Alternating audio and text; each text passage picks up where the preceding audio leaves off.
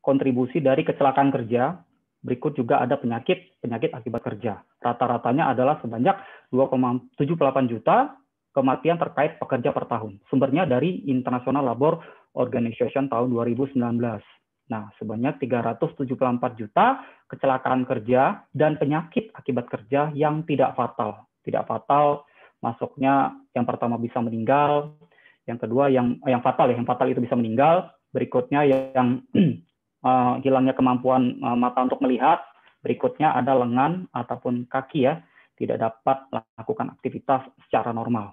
Artinya masuknya adalah permanen permanen uh, disabilities. Oke, nah kalau yang tidak fatal angkanya 374 juta, ya yang mana pekerja tidak masuk ke tempat kerja kurang lebih sekitar 5, 5 hari. Baik, data kecelakaan kerja yang ada di Indonesia sumbernya dari BPJS Kerjaan tahun 2021.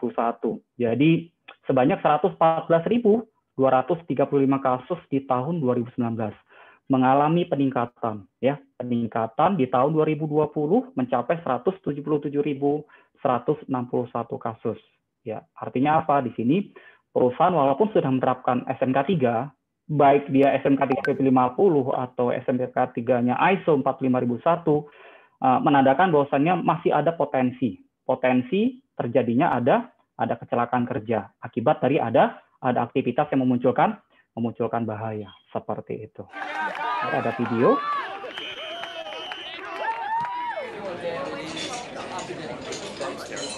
Baik,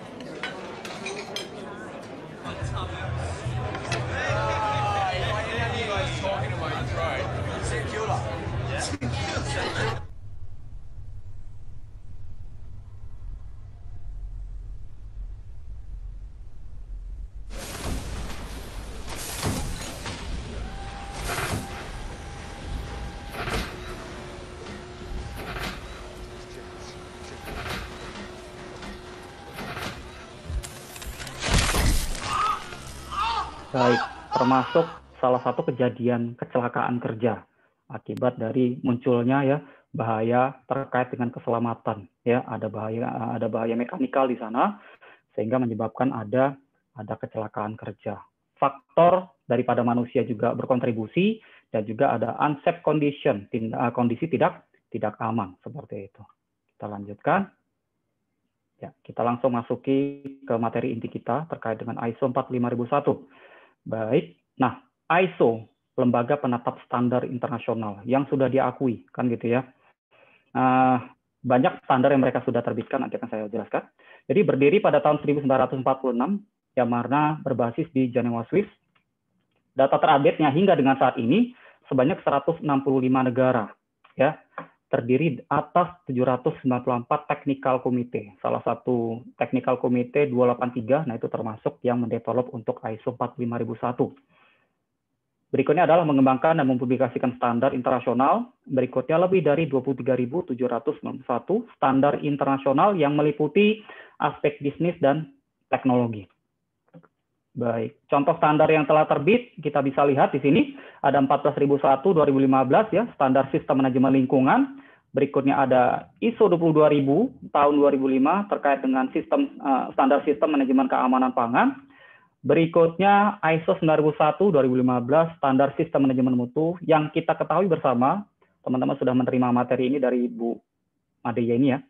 Berikutnya Ya, ISO 27000 2005 tentang standar sistem manajemen keamanan keamanan informasi. Nah, ini semuanya termasuk uh, produk dari dari ISO. Oke, kita bahas lebih spesifik ke ISO 45001. Secara pengertiannya adalah standar internasional ya.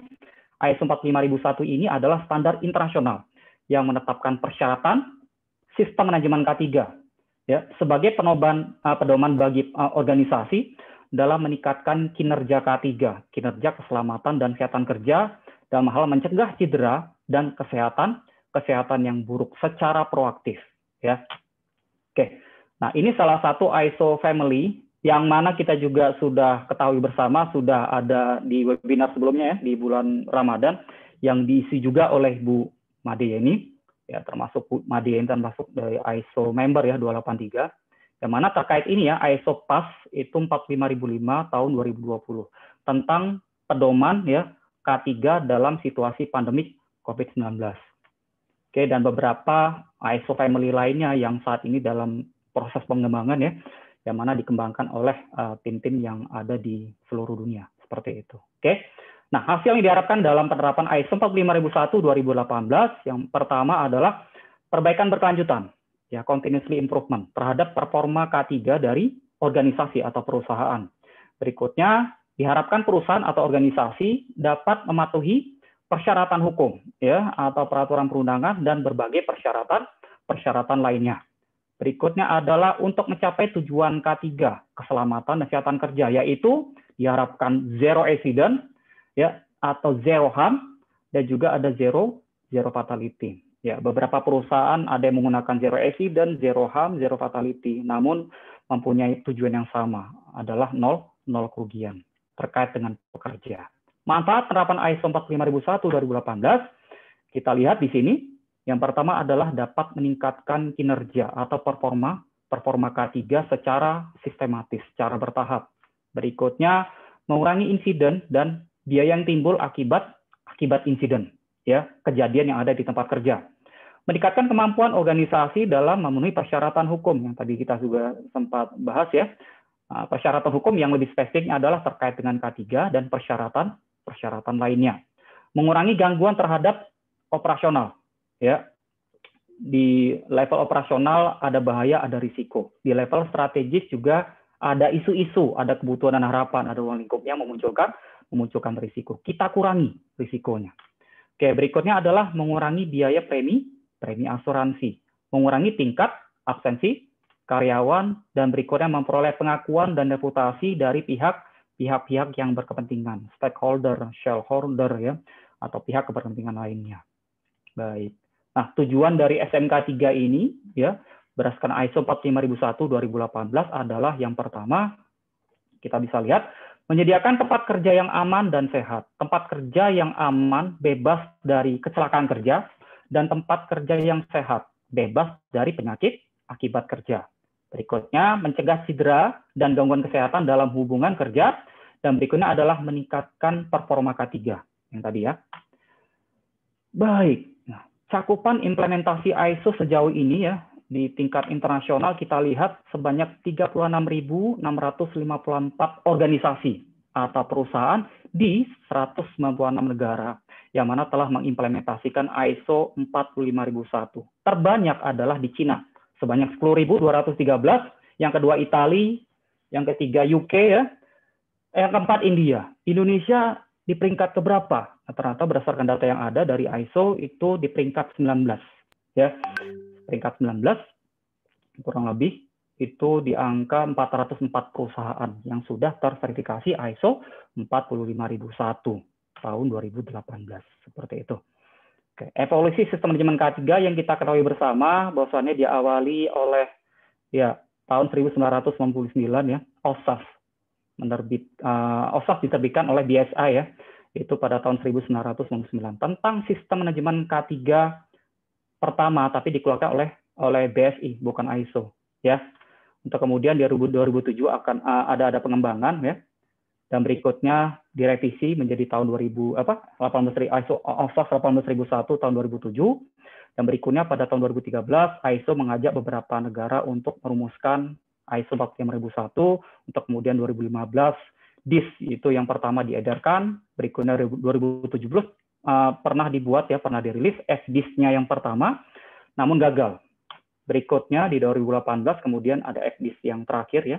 Final itu kemudian disahkan menjadi ISO 45001, diterbitkan oleh ISO, maka secara uh, otomatis uh, OSAS itu sudah ditarik. Untuk kemudian ke Indonesia diadopsi, yaitu pada tahun 2018 ya, untuk kemudian di apa di apa di uh, dibentuk suatu tim di Indonesia yang mana akan menetapkan ya standar nasional Indonesia ya diadopsi ke SNI.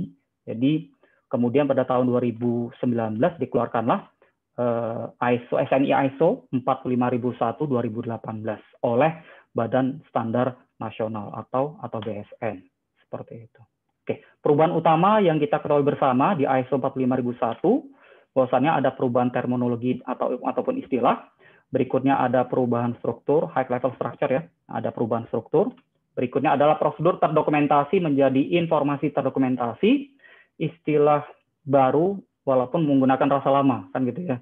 Tetap uh, di sana sebenarnya dibutuhkan bisa jadi dokumen prosesnya itu adalah prosedur atau atau flowchart. Berikutnya penambahan persyaratan konteks organisasi dan persyaratan pekerja dan pihak-pihak yang berkepentingan. Nah, ini termasuk yang membedakan ya dengan ISO 9001 dengan ISO 14001. Ada kata peker, pekerja. Tidak terdapat persyaratan untuk manual K3, walaupun sebenarnya perusahaan masih hmm, banyak juga menggunakan manual untuk mencantumkan ruang lingkupnya, ya. Dan juga ada mencantumkan isu-isu internal dan isu-isu eksternalnya, ya tidak ada masalah untuk itu. Namun persyaratannya harus ter terdokumentasi untuk ruang uh, untuk, untuk ruang lingkup dan juga ada ada risiko dan peluang nantinya. Peluang ketiga, berikutnya ada penekanan terhadap penggunaan pemikiran berbasis risiko, dalam hal ini adalah risiko K3. Berikutnya ada persyaratan tindakan pencegahan dihilangkan. Maksudnya statement pencegahan itu dihilangkan, maknanya tetap berada di di klausul 6 untuk kemudian uh, penekanan atau mengurangi risiko atau tindakan untuk menghilangkan bahaya ada di klausul 8. Berikutnya tanggung jawab secara keseluruhan pada top manajemen. Namun ada yang menyatakan bahwasannya MR itu statementnya sudah dihilangkan. Namun ya manajemen masih bisa meng uh, shall assign, maksudnya masih bisa mengutus gitu kan ya perwakilannya untuk dia gitu kan ya. Dalam hal sebenarnya tanggung jawabnya uh, untuk level manajerial itu maju tiga langkah, MR bisa mundur dua, dua langkah. Berikutnya ada manajemen perubahan, Berikutnya ada 11 faktor kunci keberhasilan penerapan penerapan SMK 3. Baik. Ya, susunannya aneks Excel ada ruang lingkup, ada acuan normatif, istilah dan definisi. Yang 1, 2, 3 itu bukan persyaratan, namun yang persyaratan yang wajib dipatuhi sebagai kepatuhan untuk apa ya penerapan SMK 3 ini adalah di klausul 4 hingga klausul 10. Ya, namun walaupun bukan persyaratan di klausul 1, 2, 3 ataupun ada klausul 0 ya, Nah, itu tetap menjadi referensi untuk perusahaan untuk melihat ya background dibuatnya standar tersebut, berikutnya terkait dengan ruang lingkupnya, normatifnya seperti apa, terus lagi ya terminologinya seperti apa. Nah, itu bisa menjadi referensi dalam hal implementasi di klausul 4 hingga klausul klausul 10 seperti itu. Empat konteks organisasi hingga ke peningkatan atau perba perbaikan.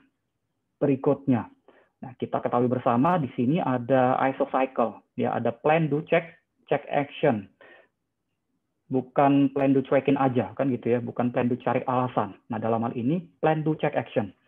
Nah, berbeda sekali dengan yang siklus sebelumnya ya, yang di OSAS 18001, di sini ada uh, buletan yang besar itu di tengah, yang mana itu ada kepemimpinan dan partisipasi pekerja. Dianggap di sini sebenarnya ISO cycle ini di tengah itu adalah sebagai hati gitu kan ya, hati dari dari sistem manajemen ini, hati dari ISO cycle ini. Diharapkan di sana di hati itu peran manajemen untuk berkontribusi besar gitu ya, untuk bertanggung jawab secara penuh dalam hal semua proses yang ada di klausul 4 hingga klausul klausul 10 seperti itu. Dengan keluaran yang diinginkan dari SMK 3 termasuk dapat uh, prevent gitu kan ya mencegah kecelakaan kerja dan penyakit akibat kerja, meningkatkan nilai investasi peru perusahaan sebagai contoh. Baik, kita bisa bahas di sini lebih lanjut terkait dengan sub-sub klausul dari masing-masing klausul tadi ya. Di klausul 4 ada klausul uh, konteks organisasi, ada empat klausul di sana. Klausul 5 ada kepemimpinan dan partisipasi pekerja, ada empat sub klausul. Berikutnya ada klausul 6 perencanaan, berikutnya klausul 7 ada dukungan hingga klausul 10 terkait dengan perba perbaikan. Namun ya materi ini saya nggak jabarkan uh, dari klausul 4 hingga klausul 10, namun saya berbasis saya akan bahas terkait dengan berbasis berbasis proses ya. Jadi nanti berbasis proses akan kita mulai dari klausul 5 ya. Baik. Kita langsung bahas. Nah, ini menarik sekali untuk kita sharing teman-teman. Jika nanti teman-teman ada input, ada saran di sesi Q&A kita akan bahas bareng ya. Nah, di sini kita mulai dengan demonstrate leadership and commitment to the OHS management system. Jadi, si top management diharapkan untuk menunjukkan kepemimpinannya dan juga komitmennya terkait dengan SMK SMK 3. Berarti di sini maksudnya di klausul klausul 5 kan itu ya 51 ya.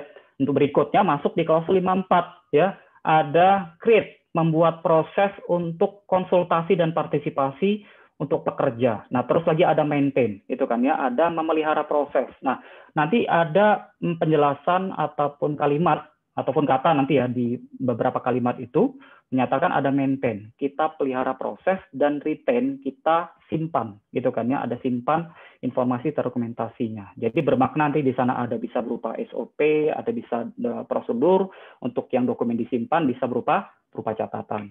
Oke, kemudian masuk di, di, di langkah yang ketiga adalah memahami konteks dan menentukan ruang lingkupnya. Strict update gitu kan ya ketika nanti proses di klausul 1 hingga klausul 16 itu sudah dilaksanakan. Untuk kemudian nanti akan ada diupdate lah konteksnya. Untuk kemudian nanti skop yang sudah ditetapkan untuk kemudian nanti di di review kembali. Berikutnya ada langkah yang keempat ada penetapan kebijakan K3, kelima ada penentuan risiko dan peluang dan memelihara prosesnya untuk menentukan risiko dan peluang tersebut. Berikutnya menentukan ataupun mengidentifikasi gitu kan ya persyaratan hukum dan persyaratan lainnya dan juga memaintain prosesnya. Ya bisa berupa penyediaan prosedur ataupun uh, flowchart dan sebagainya. Membuat gitu kan ya menetapkan tujuan K3 dan memaintain prosesnya. Berikutnya adalah perencanaan untuk uh, aksi ya untuk tindakan untuk menekan risiko atau memanfaatkan peluangnya tindakan untuk mematuhi persyaratan hukum tindakan juga untuk eh, perencanaan ya terkait dengan tanggap darurat, tujuan K3 dan juga program audit. Ya, temuan audit direncanakan bagaimana uh, pemenuhannya gitu kan ya untuk mengclose temuan auditnya. Berikutnya menentukan gitu kan ya dan juga mengkomunikasikan tanggung jawab dan uh, kewenangan ya terkait dengan dengan pekerja dan memaintain pro prosesnya. Berikutnya menentukan uh, sumber daya. Sumber daya bisa manusia, bisa budget K3 gitu kan ya. Untuk kemudian itu termasuk di sana adalah kompetensi. Kompetensi berarti uh, terkait dengan pekerja kan gitu ya, terkait dengan kompetensi pekerja. Berikutnya adalah melaksanakan, mengontrol, memelihara gitu kan ya operasional proses needed.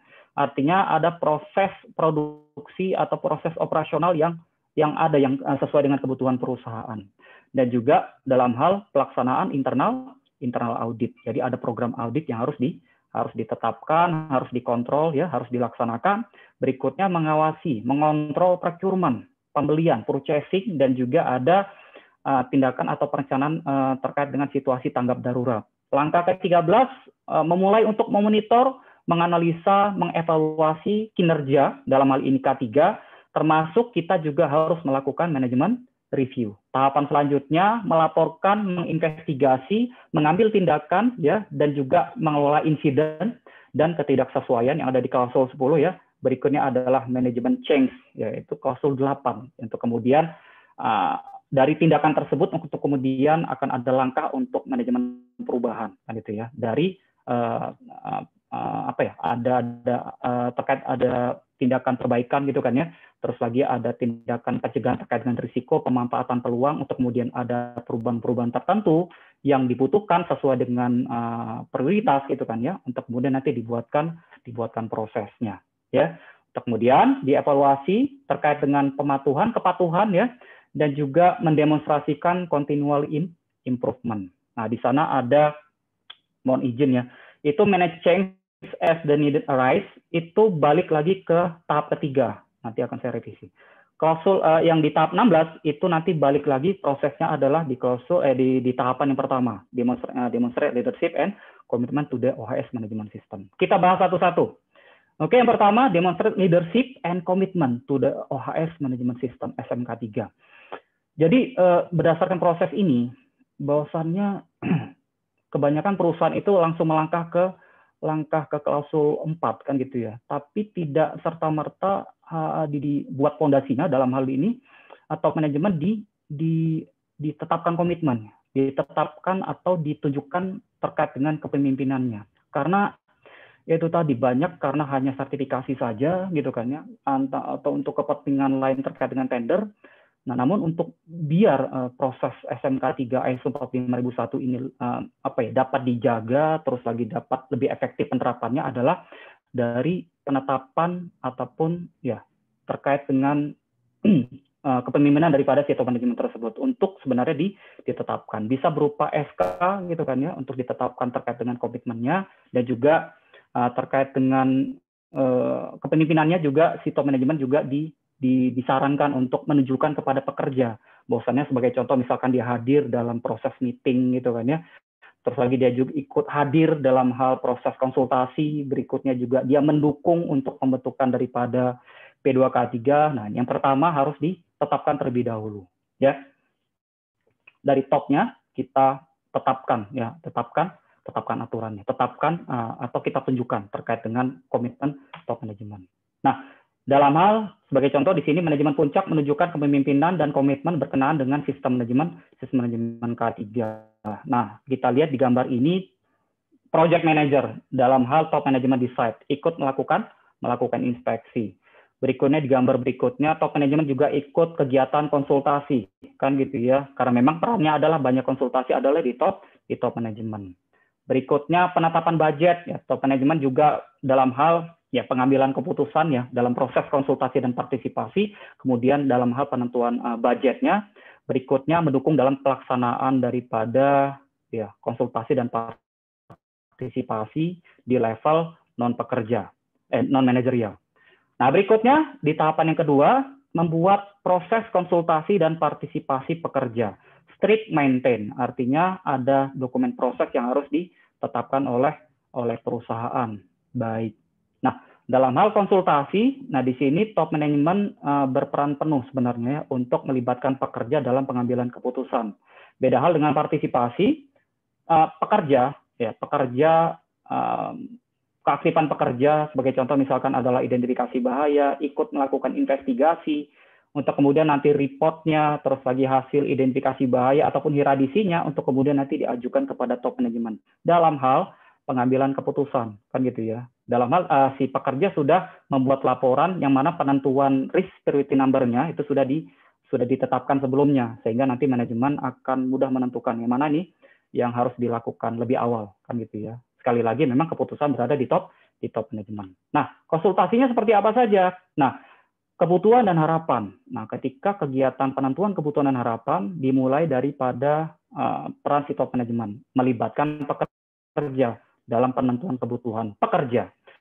Pekerja sejauh ini kebutuhannya apa kan gitu ya? Misalkan pekerja uh, membutuhkan terkait dengan pelatihan, terkait misalkan BPJS gitu kan ya. Harapannya apa? Ya sejauh ini kita pengen bekerja di sini kita meningkat nih kompetensinya. Nah, ini kita bicara proses ya dalam hal untuk proses konsultasi. Nah, terkait dengan kebutuhan dan harapan kita akan bahas nanti di langkah-langkah berikutnya. Berikutnya kebijakan K3 dan berikutnya ada peran tanggung jawab dan wewenang organisasi.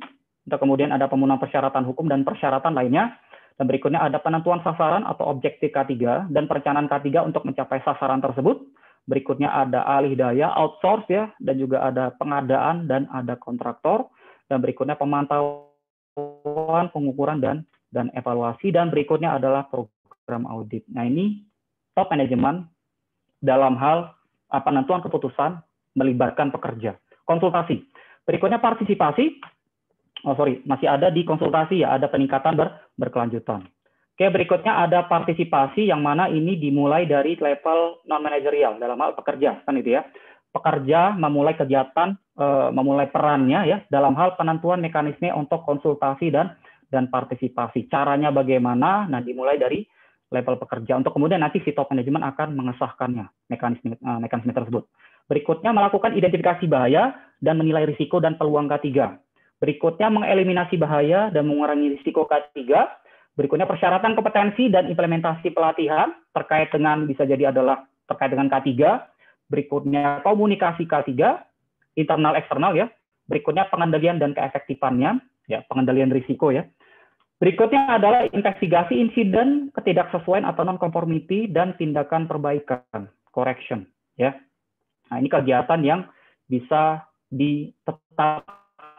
ditetapkan metodenya ya sebelum melangkah ke proses berikutnya. Jadi proses konsultasi dan partisipasi ditetapkan terlebih terlebih dahulu. Berikutnya di langkah yang ketiga kita harus memahami kan gitu ya. Jadi top manajemen sudah ditetapkan nih komitmennya terus lagi terkait dengan leadership-nya gitu kan ya. Untuk kemudian proses konsultasinya juga sudah ditetapkan untuk kemudian melangkah ke proses berikutnya ya di dianggap di SOP konsultasi dan partisipasi sudah ditetapkan langkah-langkahnya. Nah, ketika bahas konteks, nah ini apa saja yang harus disediakan nih datanya, kan gitu ya. Atau kemudian kita akan bisa dengan mudah ini membahas terkait dengan uh, bagaimana ketika mengumpulkan isu internal eksternal gitu kan ya, atau data-data terkait itu, kebutuhan dan harapan, terus lagi ruang lingkup. Nah, ini kita bisa bisa dengan apa ya, terguide gitu ya dengan adanya uh, dokumen proses yang sudah ditetapkan sebelumnya terkait dengan proses konsultasi dan partisipasi. Oke? Memahami kebutuhan, uh, memahami konteks, ya konteks organisasi dan menetapkan ruang lingkup, ruang lingkup dalam hal penerapan SMK 3. Nah, di sana ada update, strip update yang warna abu-abu dan juga ada review kan gitu ya. Nah, itu dilaksanakan setelah melakukan proses yang sampai di tahapan yang nomor 16 itu. Kemudian nanti akan diupdate konteks organisasinya dan juga di-review kembali terkait dengan ruang lingkup yang ada. Baik. Nah, ini kita bicara yang di langkah ketiga lebih banyaknya masuk ke klausul 4, teman-teman. Ya, klausul 4 di sana ada klausul 41 terkait dengan isu-isu internal dan dan eksternal. Metodenya kita bisa menggunakan dengan SWOT ya, SWOT, strength, eh, terus lagi ada weakness, ada opportunity ya. Terus lagi ada threat, ada ancaman ya. Yang mana di sana ada terkait kalau S dan O itu adalah terkait dengan positif dan juga W dengan T itu adalah terkait dengan negatif. Untuk sisi yang berada di sebelah kiri itu adalah lingkup internal dan juga O dan T yang berada di sebelah kanan itu itu adalah adalah eksternal. Nah, ini tidak mutlak teman-teman menggunakan ini, bisa menggunakan kan metode metode lainnya. Ini untuk isu internal. Nah, untuk isu eksternal itu teman-teman bisa menggunakan PESTEL ya. Politik, ekonomi, sosial, legal, teknologi, environment. Nah, itu bisa digunakan dalam penetapan isu internal dan eksternal eksternal. Nanti ada kaitannya dengan di klausul 6, risiko dan peluang.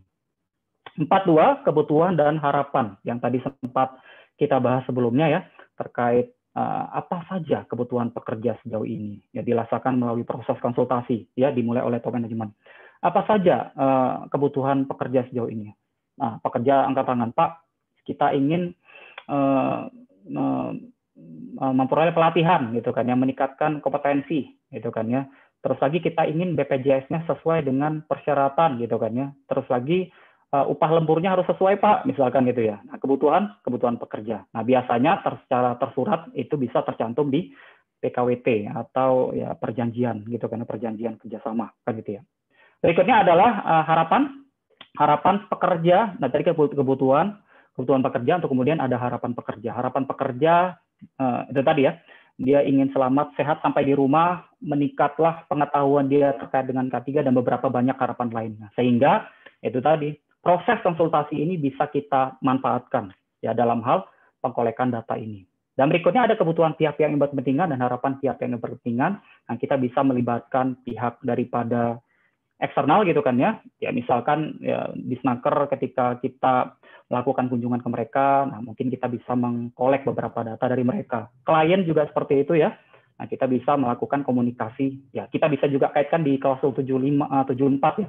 Komunikasi internal, eksternal, melalui proses itu kita bisa bandingkan dalam hal pengkolekan dari data ya terkait di klausul klausul 42. Berikutnya ruang lingkup menetapkan ruang lingkup sistem manajemen K3 ya. K3 di beberapa implementasi banyak ya ada di uh, sektor konstruksi, pertambangan, minyak dan gas ya, logistik, transportasi dan sebagainya untuk kemudian kita tetapkan ruang lingkupnya ya.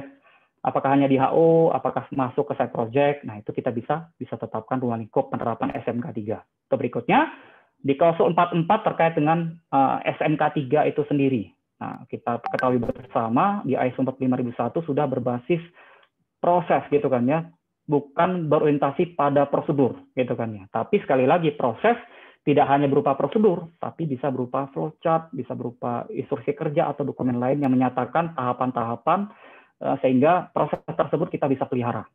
Bisa proses konsultasi dan partisipasi yang tadi ya, di tahapan yang kedua, proses identifikasi bahaya, penilaian risiko, penilaian peluang, ya sampai kepada uh, proses melaporkan insiden. Ya, bisa tertuang di prosedur investigasi insiden gitu kan ya terus lagi tindakan perbaikan gitu ya. Nah itu kita bisa tetapkan dalam suatu dokumen proses.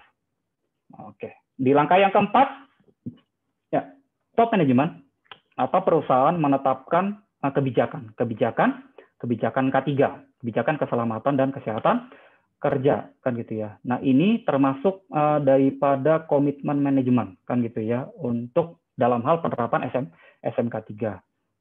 Dalam kebijakan K3 ini ada beberapa poin-poin yang sebenarnya tercantum dalam kebijakan tersebut ya. Nah, teman-teman nanti bisa lihat di klausul 52 di ISO 45001 di sana ada terkait dengan mencakup komitmen dalam penyediaan tempat kerja yang aman dan sehat gitu kan ya. Terus lagi menyediakan kerangka kerja untuk menetapkan sasaran K3, mencakup komitmen memenuhi persyaratan peraturan perundangan dan persyaratan lainnya. Nah, itu uh, wajib tertera di kebijakan K3. Berikutnya adalah komitmen menghilangkan bahaya, mengurangi risiko, komitmen untuk perbaikan SMK 3 secara berkelanjutan, ya, komitmen konsultasi dan partisipasi pekerja. Nah, itu sebaiknya ter tercantum dalam kebijakan kebijakan K3 ini.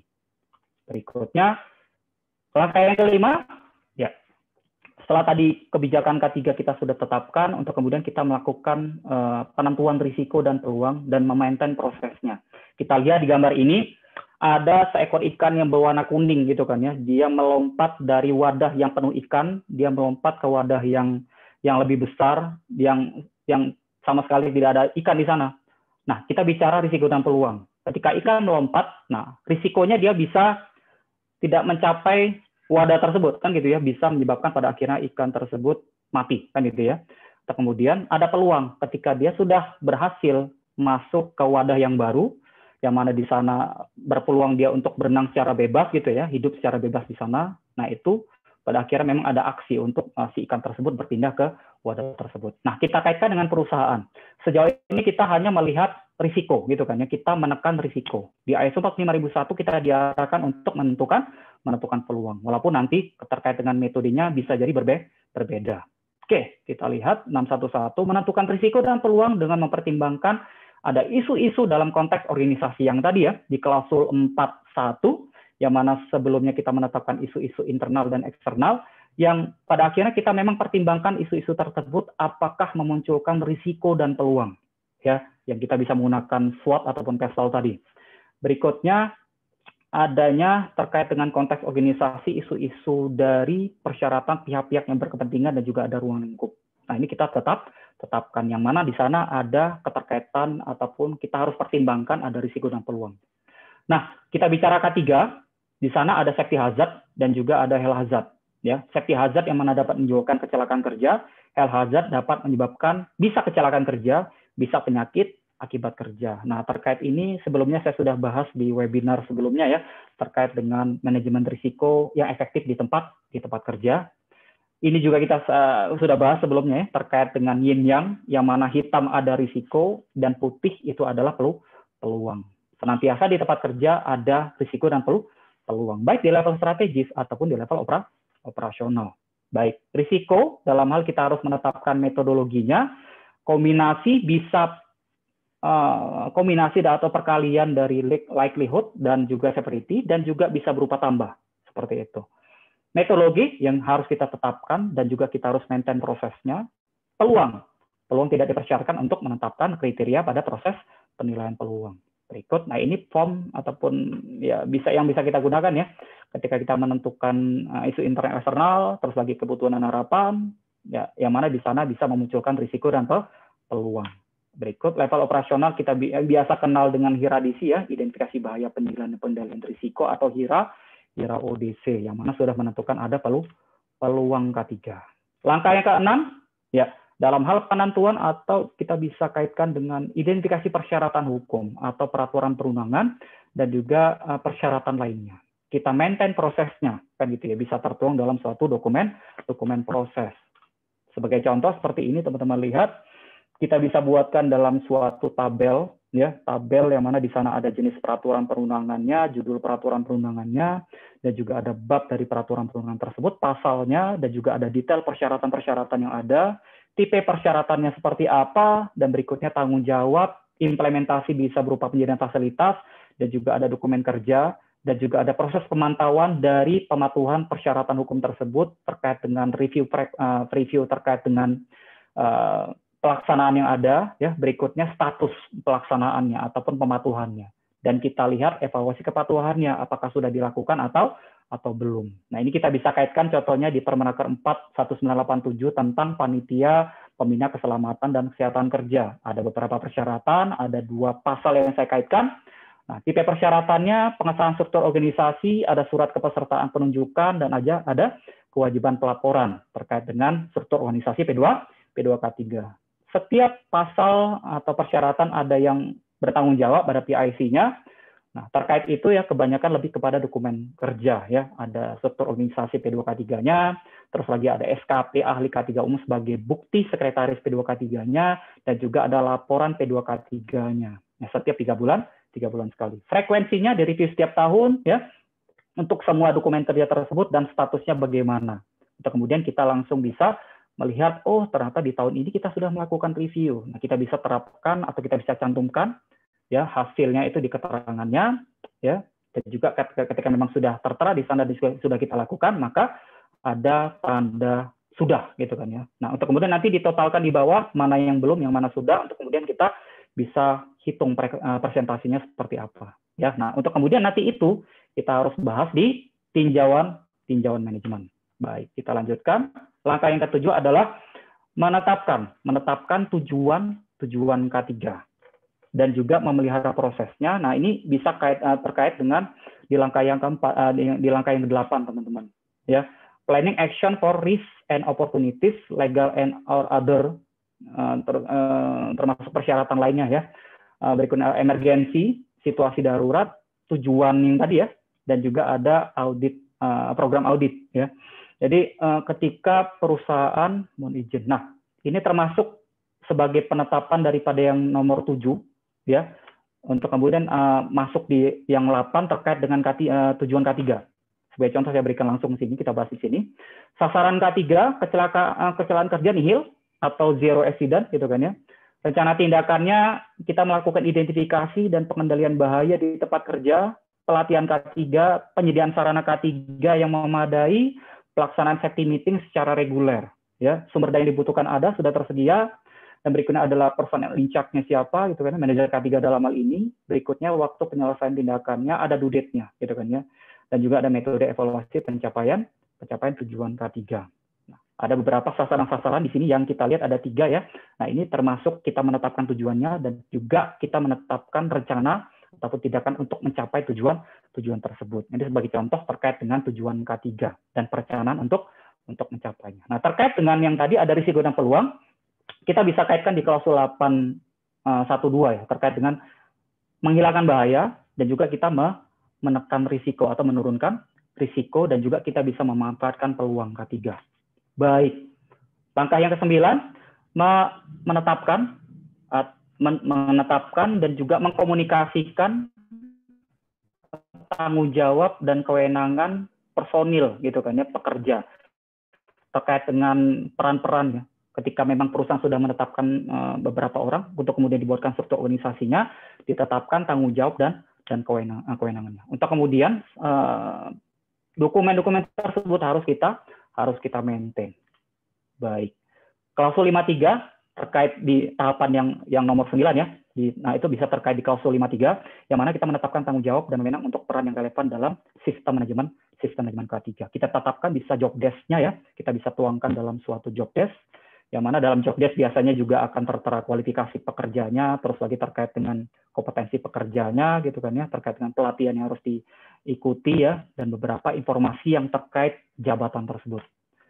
Baik, berikutnya di langkah yang ke-10, dalam hal penentuan resource atau sumber daya, bisa budget K3, bisa sumber daya manusia, bisa fasilitas yang dibutuhkan termasuk kompetensi. Oke, kita bahas. Nah, ini banyak nih di klausul 7 di klausul 7 ada 71 menentukan dan menyediakan sumber daya untuk SMK 3 termasuk manusianya kita sediakan. Oke, kita sudah plot eh, jabatan-jabatan yang ada untuk kemudian kita isi yang vakan gitu kan. Kita isi dari masing-masing jabatan tersebut. Kita tetapkan sumber daya alam yang kita butuhkan ya. Terus lagi infrastruktur, kita butuh kantor, kita butuh uh, suatu fasilitas misalkan apar gitu kan ya atau hydran ya terus lagi ada teknologi informasi eh, teknologinya ya terus lagi ada budget yang nggak kalah penting yang mana mendukung ke semua eh, sumber daya lainnya berikutnya menentukan dan menyediakan sumber daya untuk SMK 3 di klausul 72 dalam hal terkait dengan sumber daya manu manusia ya untuk fasilitas yang ada ya kita harus pelihara terus lagi dari setiap proses memunculkan bahaya itu juga kita harus tetapkan orangnya kompetensinya juga, terus lagi terkait dengan proses pekerjaan di ketinggian misalkan, terus lagi penggunaan alat berat, kita harus tetapkan prosesnya. Termasuk instrukturnya, ya misalkan teman-teman di perusahaan mempunyai lembaga pelat, uh, badan apa uh, departemen pelatihan, nah kita tetapkan instrukturnya dan juga harus berkop, berkompeten. Berikutnya memastikan pekerja memiliki kesadaran terhadap SMK 3 terkait dengan awareness ya, awareness pekerja, yang mana kita harus memberikan pengetahuan bagaimana cara pekerja untuk bisa membebaskan diri dari kondisi bahaya. Misalkan nah, ketika ada situasi darurat, nah, bagaimana pekerja eh, menjalankan prosedur terkait dengan situasi tanggap darurat tersebut ya.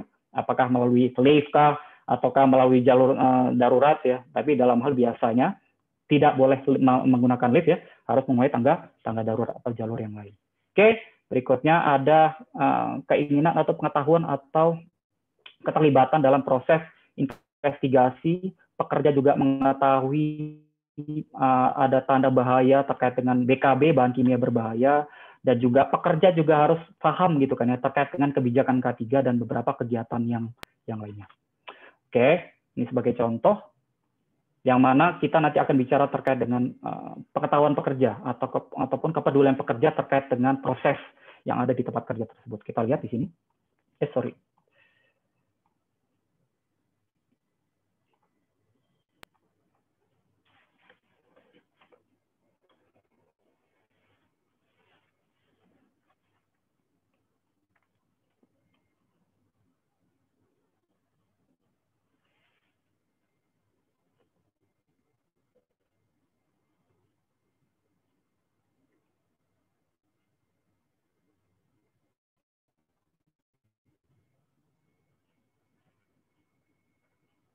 Ya, kita baru saja dilihat uh, lihat ya ada kejadian kecelakaan kerja yang terjadi di sebuah tempat kerja ya, yang mana di sana berupa kitchen gitu kan ya, uh, perusahaan penghasil atau pembuat makanan kan gitu ya, atau restoran lah. Nah di sana ada pekerja yang bekerja sambil berbicara ketika dia mengangkat uh, air panas tersebut kan gitu ya. Nah dalam hal di sana kita bisa lihat bahwasannya bisa jadi perusahaan sudah menetapkan atau melakukan identifikasi bahaya, melakukan penilaian risiko, tapi bisa jadi si pekerjanya nggak tahu, kan gitu ya, ada bahaya yang lebih signifikan, kan gitu ya. Artinya di sini bisa jadi pekerja tersebut sebenarnya sudah paham, ya, karena behavior-nya gitu kan ya, karena tuntutan pekerjaan pada akhirnya dia harus melakukan kegiatan seperti itu gitu kan ya, berbicara, berkomunikasi dan sebagainya. Namun ketika memang perusahaan sudah menetapkan caranya untuk sudah mengkomunikasikan terkait dengan bahaya tersebut untuk kemudian pekerja tersebut dihadirkan dalam suatu event ataupun pelatihan gitu kan ya. Atau kita komunikasikan hiradisinya ke pekerja maka bisa jadi gitu kan ya. Nah, terkait dengan kecelakaan tersebut bisa saja bisa bisa saja tidak tidak terjadi seperti itu. Jadi salah satu ya compliance ya terkait dengan yang tadi ya terkait dengan uh, pengetahuan pekerja harus harus kita tingkatkan ya terkait dengan adanya bahaya yang setiap yang muncul ya dari setiap aktivitas yang ada di tempat kerja. Oke, 74 uh, melakukan komunikasi internal dan eksternal. Komunikasi internal kita bisa berikan contoh di sini ada berupa tabel teman-teman. Jadi ada pihak yang menerima informasi internal dan juga ada persyaratan hukum dan persyaratan lainnya kita bisa kaitkan ya. Berikutnya PIC yang bertanggung jawab terkait dengan uh, proses komunikasi tersebut ya untuk di komunikasi internal. Berikutnya metodenya seperti apa bisa kita lakukan. Berikutnya frekuensinya kita juga tetapkan dan item pembahasan dari komunikasi internal tersebut. Berikutnya ada komunikasi eksternal, yang mana di sana juga ada pihak yang menerima informasi yang dari eksternal ya. Bisa di sana kita contohkan ada jasa subkontraktor ya, ada pelatihan dan sertifikasi. Kontraktor ya menerima informasi tersebut. Berikut ada persyaratan hukum dan persyaratan lainnya. Kita bisa kaitkan dengan PP 50 2012 dan juga ada Permenaker RI nomor 4 tahun 1955 terkait dengan PJK 3 ya. Yang mana ada beberapa persyaratan di sana harus mencantumkan SKP perusahaan dan SKP pekerjanya gitu kan ya. Dan juga PIC yang bertanggung jawab dari uh, proses komunikasi internal tersebut dan juga frekuensinya kita tetapkan dan item pembahasannya juga kita tetapkan di sana. Kita bisa buatkan dalam suatu tabel seperti ini ya. Oke, berikutnya informasi terdokumentasi yang ada di klausul 75, yang mana perusahaan disyaratkan untuk menetapkan dan mengendalikan informasi terdokumentasi SM SMK3. Kita lihat di sini, di beberapa klausul-klausul kita kaitkan dengan ketersediaan informasi terdokumentasi. Nah, untuk warna yang orange ini itu adalah informasi terdokumentasi yang harus kita maintain. Kita pelihara, pelihara. Biasanya maintain bisa kita siapkan, kita bisa sediakan berupa bisa berupa manual, bisa berupa prosedur, bisa berupa instruksi, instruksi kerja dan beberapa dokumen lainnya. Nah, untuk yang warna sedikit warna merah ya, orange yang uh, gelap gitu kan ya. Nah, itu retain, kita simpan gitu kan ya, rekaman. Itu bisa berupa rekaman ataupun catatan yang bisa sebagai bukti implementasi dari maintain, proses yang di maintain itu tadi. Ya, bisa juga semacam laporan pelatihan ya atau kegiatan inspeksi atau laporan investigasi hasil audit ya. Nah, itu kita bisa bisa simpan. Nah, masa simpannya kita bisa bisa atur. Untuk nah, proses kita atur terkait dengan review prosesnya. Ya, nah, biasanya setiap setahun sekali memang tertera di, di prosedur. Oke, berikutnya langkah yang ke-11, kita laksanakan, kita kontrol, dan juga kita pelihara operasional proses needed, ya, pros, operasional proses yang dibutuhkan. Dan juga kita memulai untuk melakukan audit, audit internal.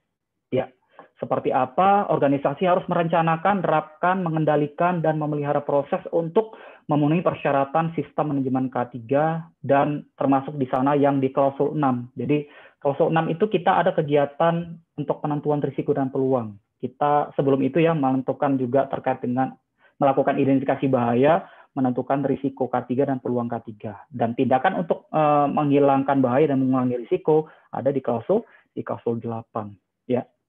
Oke, berikutnya. Nah, kita bisa menggunakan dengan hierarki pengendalian risiko ini ya, teman-teman. Yang mana di sana ada eliminasi, dan juga ada substitusi, ada rekayasa engineering, ada administratif, dan ada ada APD. Yang mana kita bisa menekan likelihood, dan juga kita bisa menekan severity. Nah, ini sebelumnya saya sudah bahas ya terkait ini, itu di uh, webinar sebelumnya ya, ya terkait dengan manajemen risiko yang efektif di, di tempat kerja. Baik, Selanjutnya kita mulai melakukan audit audit internal yang juga kita harus tetapkan intervalnya, juga kita tetapkan frekuensi auditnya gitu kan ya. Yang mana juga kita tetapkan timnya kan gitu ya. Jadwalnya kita tetapkan, prosesnya juga kita tetapkan, formnya juga sebaiknya kita tetapkan bisa berupa checklist gitu kan ya. Tim internal auditnya juga kita kita harus tetapkan ya. Metodenya juga terus lagi terkait dengan pelaporannya terus lagi dengan kriteria-kriteria yang bisa kita tetapkan dalam formulir ataupun checklist uh, audit internalnya seperti itu. Oke, berikutnya langkah ke-12 yang mana kita harus mengawasi kegiatan uh, pembelian uh, procurement gitu kan ya. Procurement bisa kita kaitkan nanti dengan adanya alih daya gitu kan ya. Terus lagi ada kontraktor ya. Dan juga nanti di sini kita harus mengkontrol terkait dengan emergency situation. Baik kita bahas di klausul 814 yang lebih berbicara terkait dengan purchasing ataupun procurement. Yang mana di sini organisasi harus menetapkan, menerapkan dan memelihara proses pengendalian pengadaan, ya, atau purchasing, ya, procurement, produk dan layanan, kontraktor dan dan outsourcing. Namun kita nggak berbicara terkait dengan makanannya, tapi adalah proses ketika membuat makanan tersebut ketika memang diimplementasikan di di perusahaan pembuat makanan, kan gitu ya. Atau membuat barang jadi misalkan gula gitu kan ya. Nah, proses dalam hasil dari raw material ke proses ke outputnya gitu kan ya. Nah, itu proses ketika membuat gula tersebut harus kita harus kita uh, tentukan siapa yang menyediakan gitu kan ya. Dan bagaimana prosesnya, bagaimana metodenya. Oke. Berikutnya, proses pengadaan kita bisa tetapkan di awal adalah kita menetapkan speknya terlebih dahulu. Apakah misalkan kita beli APD, nah spek seperti apa kita butuhkan. Berikutnya Nah, misalkan kita bicara adalah jasa kan gitu ya, kita melibatkan PJK 3. Nah, kita bisa bicara terkait dengan uh, daripada legalnya ataupun license-nya gitu kan ya, baik kepada perusahaannya atau si kompetensi si orang yang melakukan uh, perbaikan ataupun misalkan pemeriksaan seperti itu. Untuk kemudian kita lakukan pengecekan kelengkapan data yang sudah disediakan oleh pihak ketiga tadi itu. Ya, So, berikutnya adalah kita mencari kandidat pemasok atau penyedia melalui proses seleksi, dapat melalui konsep kontraktor safety management system ataupun CSMS, teman-teman. Untuk berikutnya adalah pengadaan dan penerimaan. Pengiriman, penerimaan dapat menggunakan COA gitu kan ya, kelengkapan MSDS persyaratan teknis ketika barang tersebut kita sudah kita sudah beli.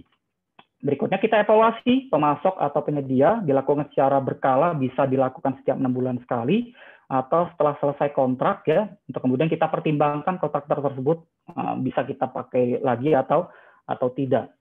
Berikutnya uh, organisasi menetapkan, terapkan, memelihara proses untuk mempersiapkan dan menanggapi situasi darurat ya yang potensial yang mana ya kita bisa tetapkan dalam suatu dokumen proses ya ketika pekerja tersebut pingsan gitu kan ya, ketika tersebut keracunan misalkan, ketika ada terjadi kebakaran bagaimana, gempa seperti apa, dan juga timnya juga kita harus tetap tetapkan dan bagaimana pekerja akan mengetahui kondisi darurat yang sebenarnya gitu kan ya, dan apa saja yang harus eh, mereka lakukan, nah itu kita bisa tetapkan dalam suatu dokumen proses. Berikutnya langkah ke-13, kita memulai untuk memonitor, kita juga menganalisa dan juga kita mengevaluasi performa yang berbicara, kita bicara ya, terkait dengan K3. Termasuk yang mana kita juga akan melakukan manajemen manajemen review. Ya. Proses ketika kita menetapkan, melakukan dan memelihara proses pemantauan, pengukuran analisis dan evaluasi kinerja kita bisa tetapkan di beberapa item-item ini. Ya. Proses kita melakukan semacam Oke, tadi ya di klausul 8 kita melakukan inspeksi, untuk kemudian nanti akan ada kriteria kan gitu ya, akan ada uh, suatu angka-angka yang sifatnya bisa jadi adalah terukur kan gitu ya. Untuk kemudian kita kaitkan kalau kita bicaranya di Permenaker 5 2018, nah terkait dengan nilai ambang batasnya kan gitu ya. Apakah masih berada di bawah nilai ambang batas atau sudah sudah melebihi daripada nilai nilai ambang batas. Kita lakukan pengukuran ya. Nah, kita bisa melakukan contoh ya terkait dengan kebisingan, terkait dengan Eh, getaran ya terkait dengan radiasi ya terkait dengan pekerja sendiri kita lakukan pemeriksaan kesehatan seperti itu. Oke, berikutnya kita lakukan semacam tinjauan manajemen.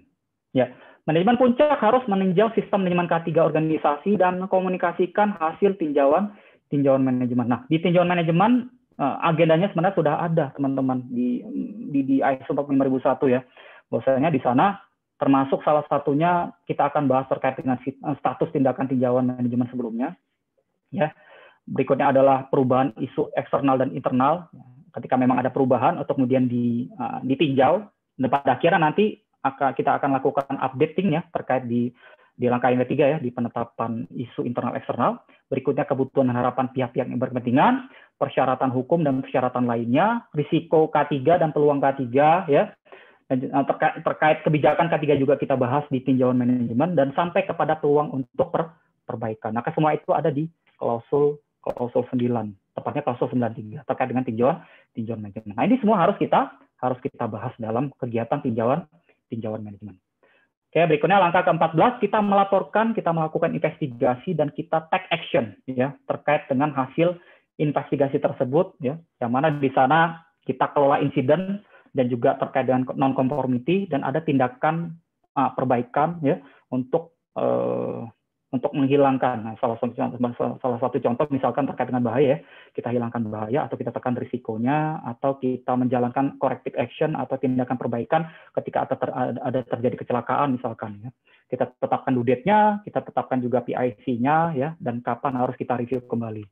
Berikutnya ya termasuk yang kecelakaan kerja, terus lagi penyakit akibat kerja, walaupun dari segi uh, pelaporannya juga dibedakan ya. Ketika terjadi kecelakaan kerja, ya kalau berdasarkan peraturan perundangan berlaku setiap saat uh, dua kali 24 jam ya untuk kita laporkan ke pihak disnaker uh, lembaga pemerintah dalam hal ini adalah disnaker satu kali 24 jam kita bisa melaporkan kepada top manajemen misalkan. Nah untuk penyakit akibat kerja setelah diketahui diagnosanya gitu kan ya Nah, kita bisa melaporkan ke top manajemen lebih dahulu untuk kemudian nanti kita bisa melaporkan ke disnaker tempat seperti itu. Oke, berikutnya angka yang ke-15 manage change as the needed arise. Kita kelola perubahan sesuai kebutuhan. Jadi kalau tadi kita sudah tentukan tindakan perencanaan untuk mencapainya, terus lagi di klausul 812 terkait dengan eliminasi bahaya, menurunkan risiko, ada tindakan perencanaan untuk mencapainya, untuk kemudian ya diagendakan dalam suatu kegiatan di manajemen dan pada akhirnya ketika ada perubahan, nah ini kita harus cantumkan dalam suatu informasi ter terdokumentasi dan kita track ya sejauh mana perubahan tersebut dan siapa yang bertanggung bertanggung jawab seperti itu. Berikutnya lang ya terkait dengan manajemen perubahan untuk berikutnya adalah continuous improvement. Langkah yang terakhir, perbaikan ber, berkelanjutan. Menentukan peluang perbaikan dan eh, melaksanakan tindakan untuk mencapai hasil sistem manajemen K3. Untuk berikutnya, nah, secara berkesinambungan meningkatkan sistem manajemen K3, yang mana kita bisa pertimbangkan penggunaan teknologi baru, best practice dalam hal pelaksanaan di internal dia ini seperti apa. Ya, berikutnya dari eksternal kita bisa melakukan adopsi ya, kita bisa melakukan benchmarking, kemudian kita bisa temukan ya dengan cara yang best ya dalam hal penerapan proses operasional ya yang terkait dengan K3. Berikutnya pemaparan sarana dan rekomendasi ya, dari pihak-pihak yang berkepentingan. Berikutnya adanya peningkatan kepengetahuan dan pemahaman yang baru terkait bisa jadi ada isu-isu dari eksternal ya terkait dengan K3. Berikutnya penggunaan bahan yang baru dan juga ada perubahan kapabilitas atau kompetensi kompetensi pekerja. Nah, ini kesemuanya kita bisa uh, capai gitu kan ya, kita bisa lakukan ya dan kita bisa membuat suatu program ya bisa manajemen dalam suatu event tertentu melibatkan beberapa pekerja ya untuk mereka menentukan ataupun menemukan suatu metode misalkan melakukan pelaporan bahaya. Misalkan ada tenaga kerja yang memang dia mempunyai skill IT kan gitu ya untuk kemudian nanti dari pekerja tersebut akan membuat atau mendevelop suatu aplikasi. Aplikasi terkait dengan pelaporan bahaya yang tidak menggunakan cara manual ya tapi menggunakan cara aplikasi aplikasi. Nah, ini ada beberapa perusahaan yang menggunakan metode seperti itu. Nah, termasuk daripada secara bersambung meningkatkan sistem manajemen sistem manajemen K3. Oke, kita lanjutkan untuk sesi tanya jawab. Terima kasih. Wassalamualaikum warahmatullahi wabarakatuh. Saya tutup materi ini. Waalaikumsalam. Oke, kita akan masuk ke session yang kedua. Terima kasih atas presentasinya Pak Adam, sangat menarik sekali ya. Berikutnya di sesi kedua, pembicara akan menjawab pertanyaan-pertanyaan yang sudah masuk di Q&A dari teman-teman semua. Namun sebelumnya akan ada informasi penting buat Bapak Ibu semua.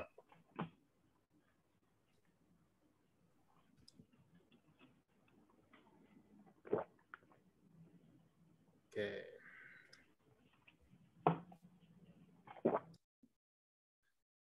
Oke, saya ada info dulu sebentar buat Bapak Ibu semua.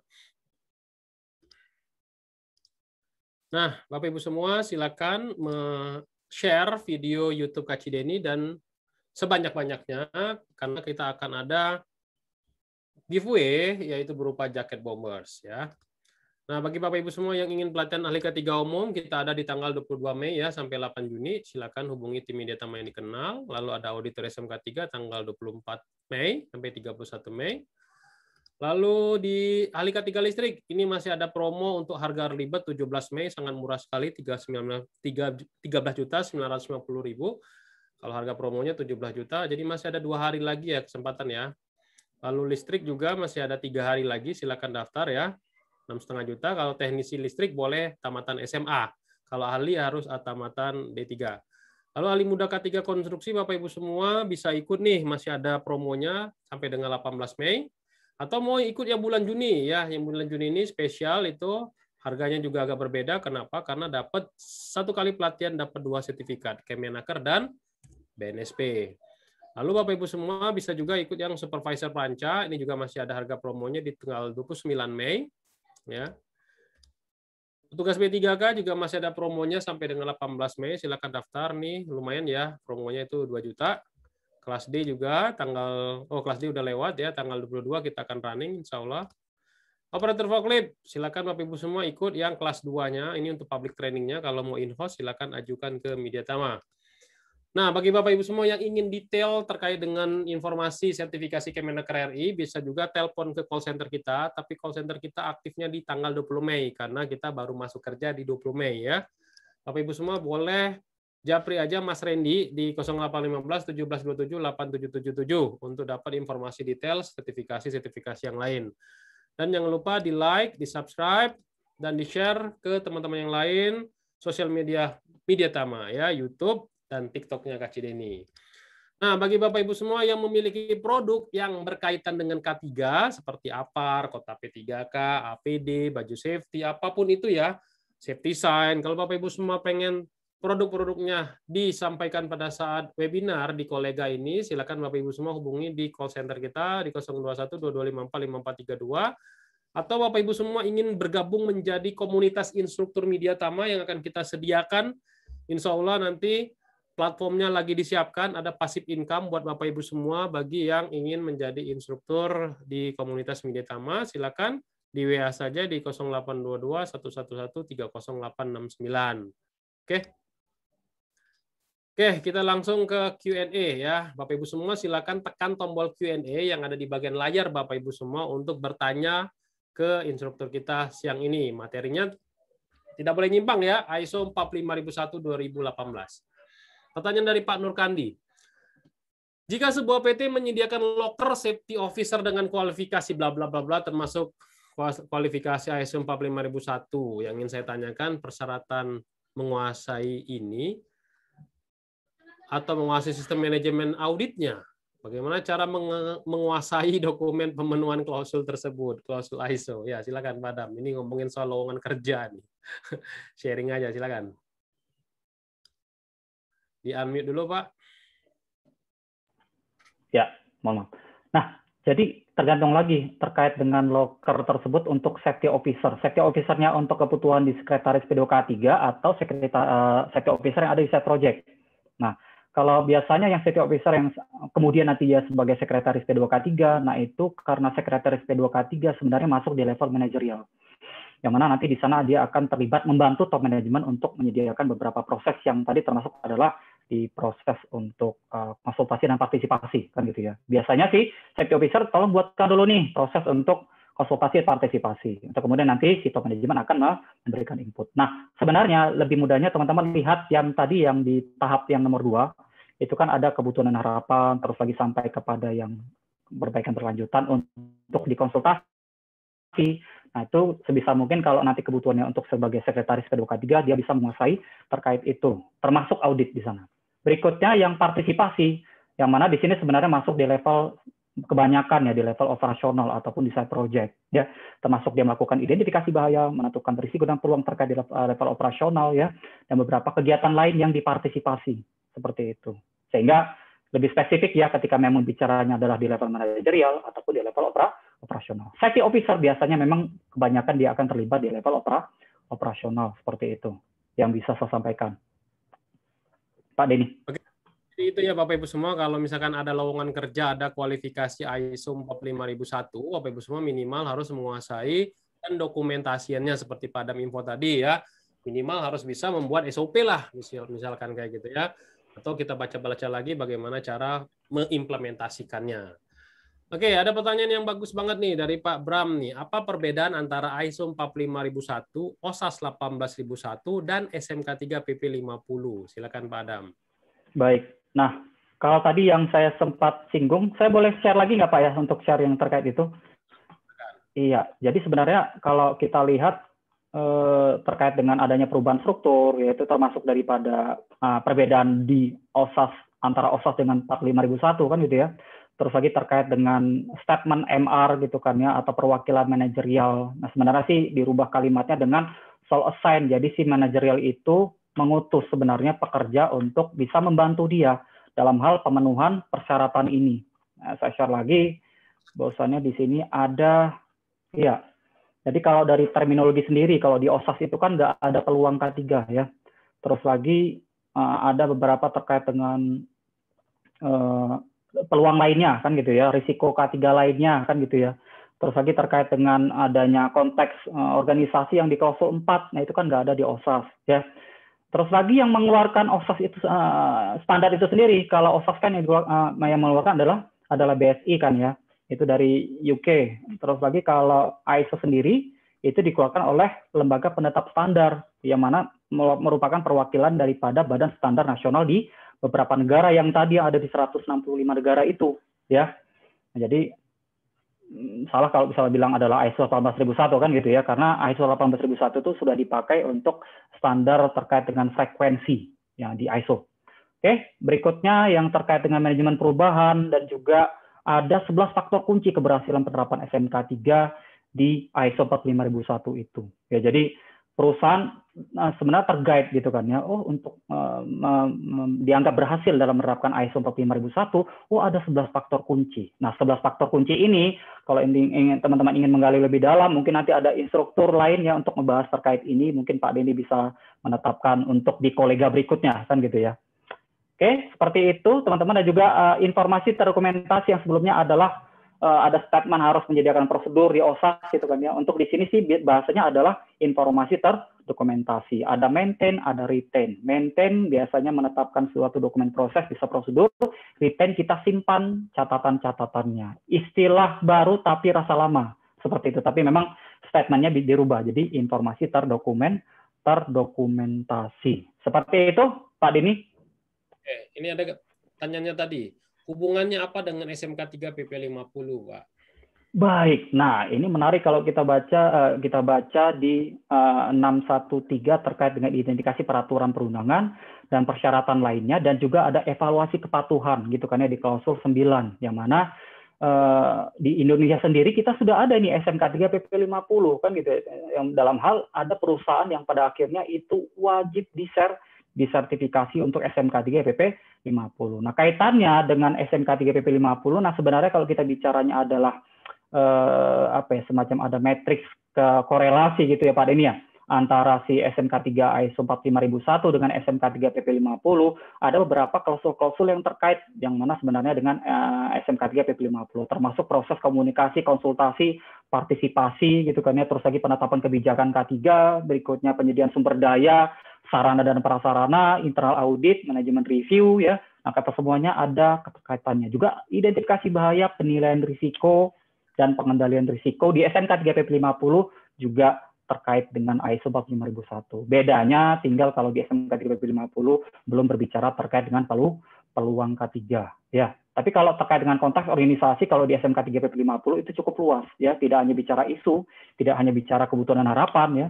tidak hanya bicara ruang lingkup, cukup cukup luas di SMK 3 PP 50. Seperti itu Pak Denny. Oke, luar biasa ya. Oke, jadi kalau Bapak Ibu semua pengen tahu perbedaannya apa, seperti Pak Adam tadi, kita juga bisa buat integrasi manajemen sistem ya. Kalau Bapak Ibu semua buka di Mika Pro itu ada di klik di bagian regulasi K3, ada ISO series, pilih coba yang ISO 14001. Nah, di sana saya sudah upload mengenai integrasi bagaimana ke 4 sampai 5 sistem bahkan 6 sistem 9000, 14000, 45001, 45005, SMK3, 50001 semua terintegrasi Cuma nanti Bapak Ibu semua harus tahu tujuan dari masing-masing ISO itu berbeda-beda gitu ya. Termasuk SMK 3 mungkin tujuannya itu mandatori regulasi seperti Padam bilang tadi. Kalau ISO 45001 lebih mengarah ke bisnis gitu ya. Bagaimana persyaratan itu terpenuhi untuk pada saat lelang atau pada saat mengekspor barangnya ke luar negeri gitu. Oke, lanjut pertanyaan berikutnya adalah apakah terdapat format baku dokumen wajib hingga terdokumentasi dari ISO 45001 ini apakah kita buat sendiri terserah kepada perusahaan seperti itu dari Pak Yusuf Adi. Ya, baik Pak Yusuf Adi menarik ini ya terkait dengan informasi terdokumentasi. Bahkan saya sempat mau apa ya mau merubah materi apa ya bahan materi hari ini lebih kepada berbasis informasi terdokumentasi namun waktunya tidak cukup untuk itu jadi uh, ISO sebenarnya mencantumkan persyaratan informasi terdokumentasi ya yang perlu dipelihara kan gitu ya informasi argumentasi yang di-maintain itu ya, termasuk proses konsultasi partisipasi, proses identifikasi bahaya, proses komunikasi internal eksternal. Nah, sebenarnya ada persyaratan, namun tabelnya itu terserah teman-teman menentukan seperti apa. Tapi persyaratannya sesuai itu ya dengan ISO 45001. Sebagai contoh misalkannya adalah tujuan K3 dan perencanaan untuk mencapai tujuan tersebut. Kita bisa menggunakan SMART gitu kan ya. Terus lagi kita bisa buatkan dalam suatu tabel. Apa tujuannya, Eh, sasarannya eh, tujuan sasaran ya tujuannya apa sasarannya apa terus lagi programnya apa PIC-nya siapa due date-nya sampai kapan terus lagi siapa yang bertanggung jawab nah itu semuanya eh, tercantum dalam dalam standar terus lagi komunikasi internal apa yang dikomunikasikan siapa yang komunikasikan bagaimana metode komunikasinya gitu kan ya terus lagi ada beberapa persyaratan lain yang pada akhirnya memang harus kita cantumkan. Bisa berupa tabel, bisa berupa format lain. Intinya adalah informasi terdokumentasi. Ada nggak eh, bakunya sejauh ini beberapa tadi ya saya tampilkan ya di slide-slide itu, nah itu biasanya best practice yang biasa perusahaan-perusahaan lakukan. Biasanya itu saya berikan juga ketika konsultasi ISO 45001 ya, di beberapa proyek lain, nah saya menggunakan form-form tersebut. Seperti itu. Oke, jadi kesimpulannya Bapak Ibu semua membuat prosedur atau dokumentasi ter, informasi terdokumentasi berupa manual prosedur IK formulir itu di kembalikan ke internal perusahaan. Namun yang pasti di internal perusahaan harus ada standarnya dulu mengenai prosedur pengendalian dokumen dan rekaman gitu ya Padam ya supaya standar gitu ya. Itu ya Pak Yusuf Adi ya. Lalu Pak Andri Septian, bagaimana ISO 45001 sesuai dengan standar ISO lain serta bagaimana pendekatan dengan sistem manajemen yang lain? Mungkin dia ngomongin soal kasarannya integrasi integrasikan ISO 45001 dengan ISO yang lain. Mungkin silakan Padam. Baik. Nah, kalau kita bicara integrasi sebenarnya memang kalau di kelas uh, di yang terbaru ya dari versi 2015 ke atas ke up ya Nah, itu sebenarnya sudah mudah diintegrasikan karena memang high level structure ya di klausul 1 sampai klausul 10 yang merupakan persyaratannya itu di klausul 4 hingga klausul 10 ya. Ada konteks organisasi sampai kepada perba perbaikan. Namun ada elemen disiplin, maksudnya ada klausul disiplin yang mana termasuk di sana ada di klausul 8 ya salah satunya yang kalau kita lihat kalau di klausul 8 itu kan kalau di sistem manajemen mutu ada beberapa klausul lebih banyak ya daripada ISO 4 5001 yang teman-teman sudah pelajari sebelumnya di Bu Yeni ya terkait dengan 9001 dan juga ada 14001 juga ya cukup cukup cukup berbeda. Terus lagi ada masuknya di klausul uh, 4 kalau dibicara terkait integrasi ya memang bisa kita integrasikan ke semua itu. Tinggal nanti kalau misalkan uh, terkait dengan uh, penyedia eksternal kalau di ISO 9001, nah itu kita bisa integrasikan di procurement misalkan ya. Nah itu sebagai contoh. Nah kalau bicara integrasi memang ya bisa cukup luas ya kita bisa bicara per klausul, tapi kita bicara terkait dengan klausul semuanya klausul itu bisa kita upayakan ya untuk kita bisa integrasikan di klausul 4 sampai dengan klausul 10. Tapi kalau sub-subnya itu sudah sudah pasti berbeda nantinya. Bisa jadi dalam suatu prosedur itu hanya tercantum kalau misalkan integrasi 5001, 14001 dengan klausul 45001, oh ternyata proses konsultasi partisipasi hanya ada di ISO 45001. Nah itu bagaimana dengan integrasi dengan sistem manajemen lainnya? Nah itu kita bisa menetapkan prosedur komunikasi, konsultasi, dan partisipasi. Karena komunikasi di klausul 74 itu ada kan ya? Nah itu kita bisa buatkan dalam suatu dokumen proses. Nah itu sebagai bukti bisa seperti itu itu ya Pak Andri ya. Jadi pendekatannya melalui pendekatan PDCA ya seperti pada bilang tadi ya, Plan Do Check Action menggunakan Annex SL10 ya. Yang seperti saya info tadi silakan buka di Mika Pro, buka di bagian regulasi K3, pilih ISO series, pilih ISO 14001. Nah, di sana sudah saya upload bagaimana pendekatan untuk Annex SL Annex SL10 untuk mengintegrasikan ke lebih dari tiga sistem sekaligus ya. Oke, pertanyaan berikutnya. Ini juga bagus nih pertanyaannya.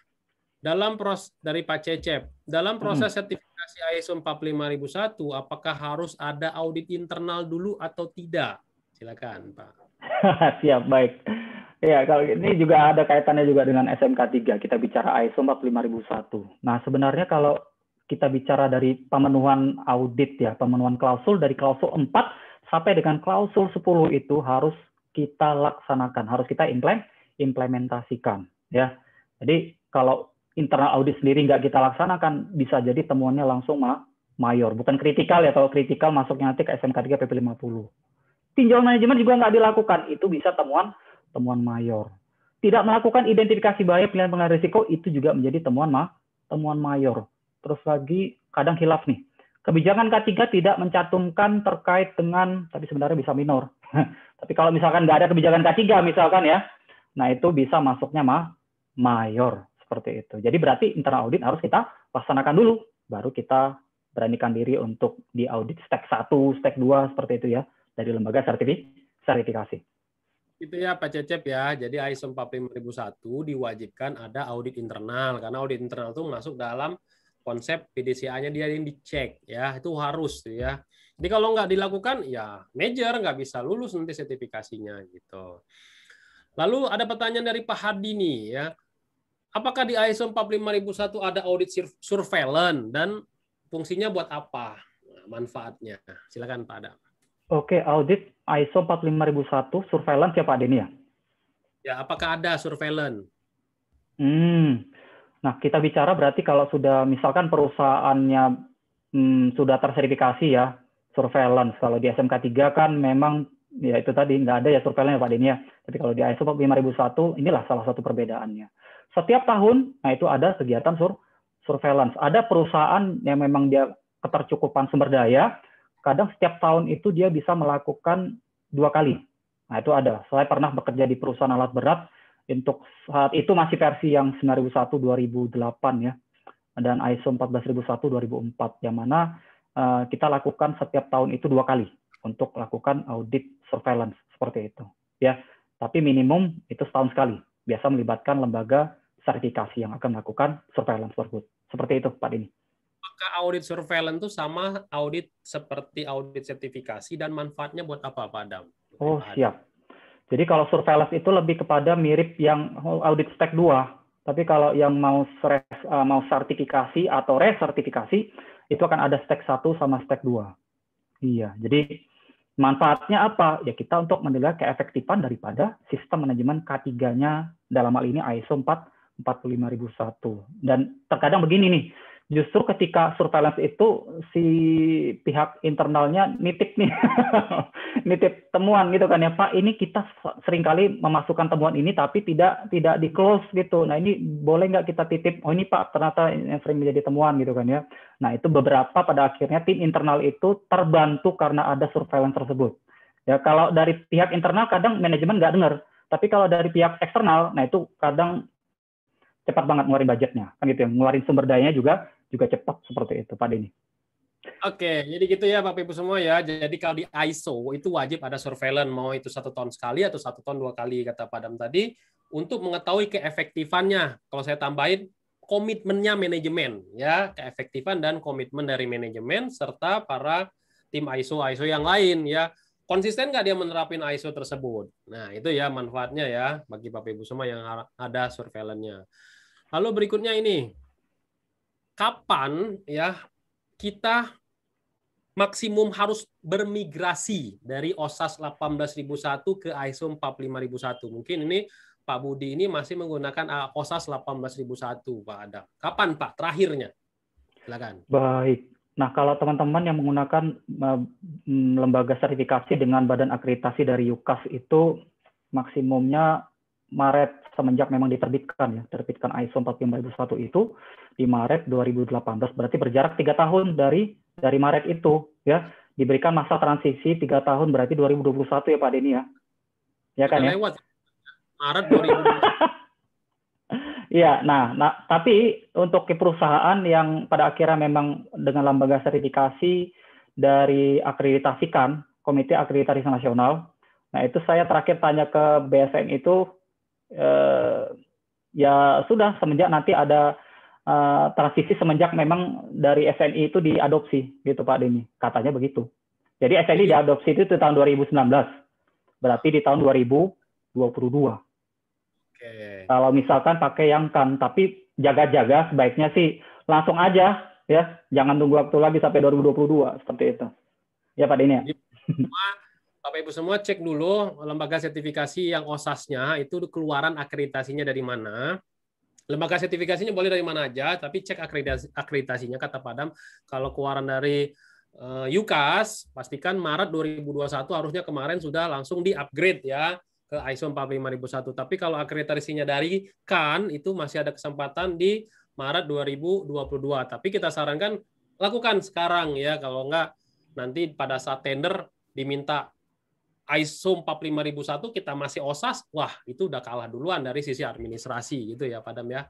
Mohon izin Pak Denny saya luruskan lagi. Jadi uh, terkait dengan kan sebenarnya statement untuk sampai kepada 2022, 2022 itu tidak tidak tersampaikan secara baik kemarin saya di WA tersebut, tapi sebaiknya sih langsung saja di 2021 itu sebaiknya harus segera langsung di dimigrasi, maksudnya langsung ke ISO 45001. Begitu Pak Denny. Gitu ya Bapak Ibu semua ya, tidak tertulis dalam statement walaupun secara ter, secara lisan harus dijalankan ya gitu ya. Oke gitu ya Pak Budi Simarta ya. Lalu juga Pak Budi juga nanya nih, apakah seseorang yang punya ISO kompetensi ISO 19011 mengenai seorang auditor ya. Apakah dia juga bisa menjadi auditor ISO di 45001, Pak Adam?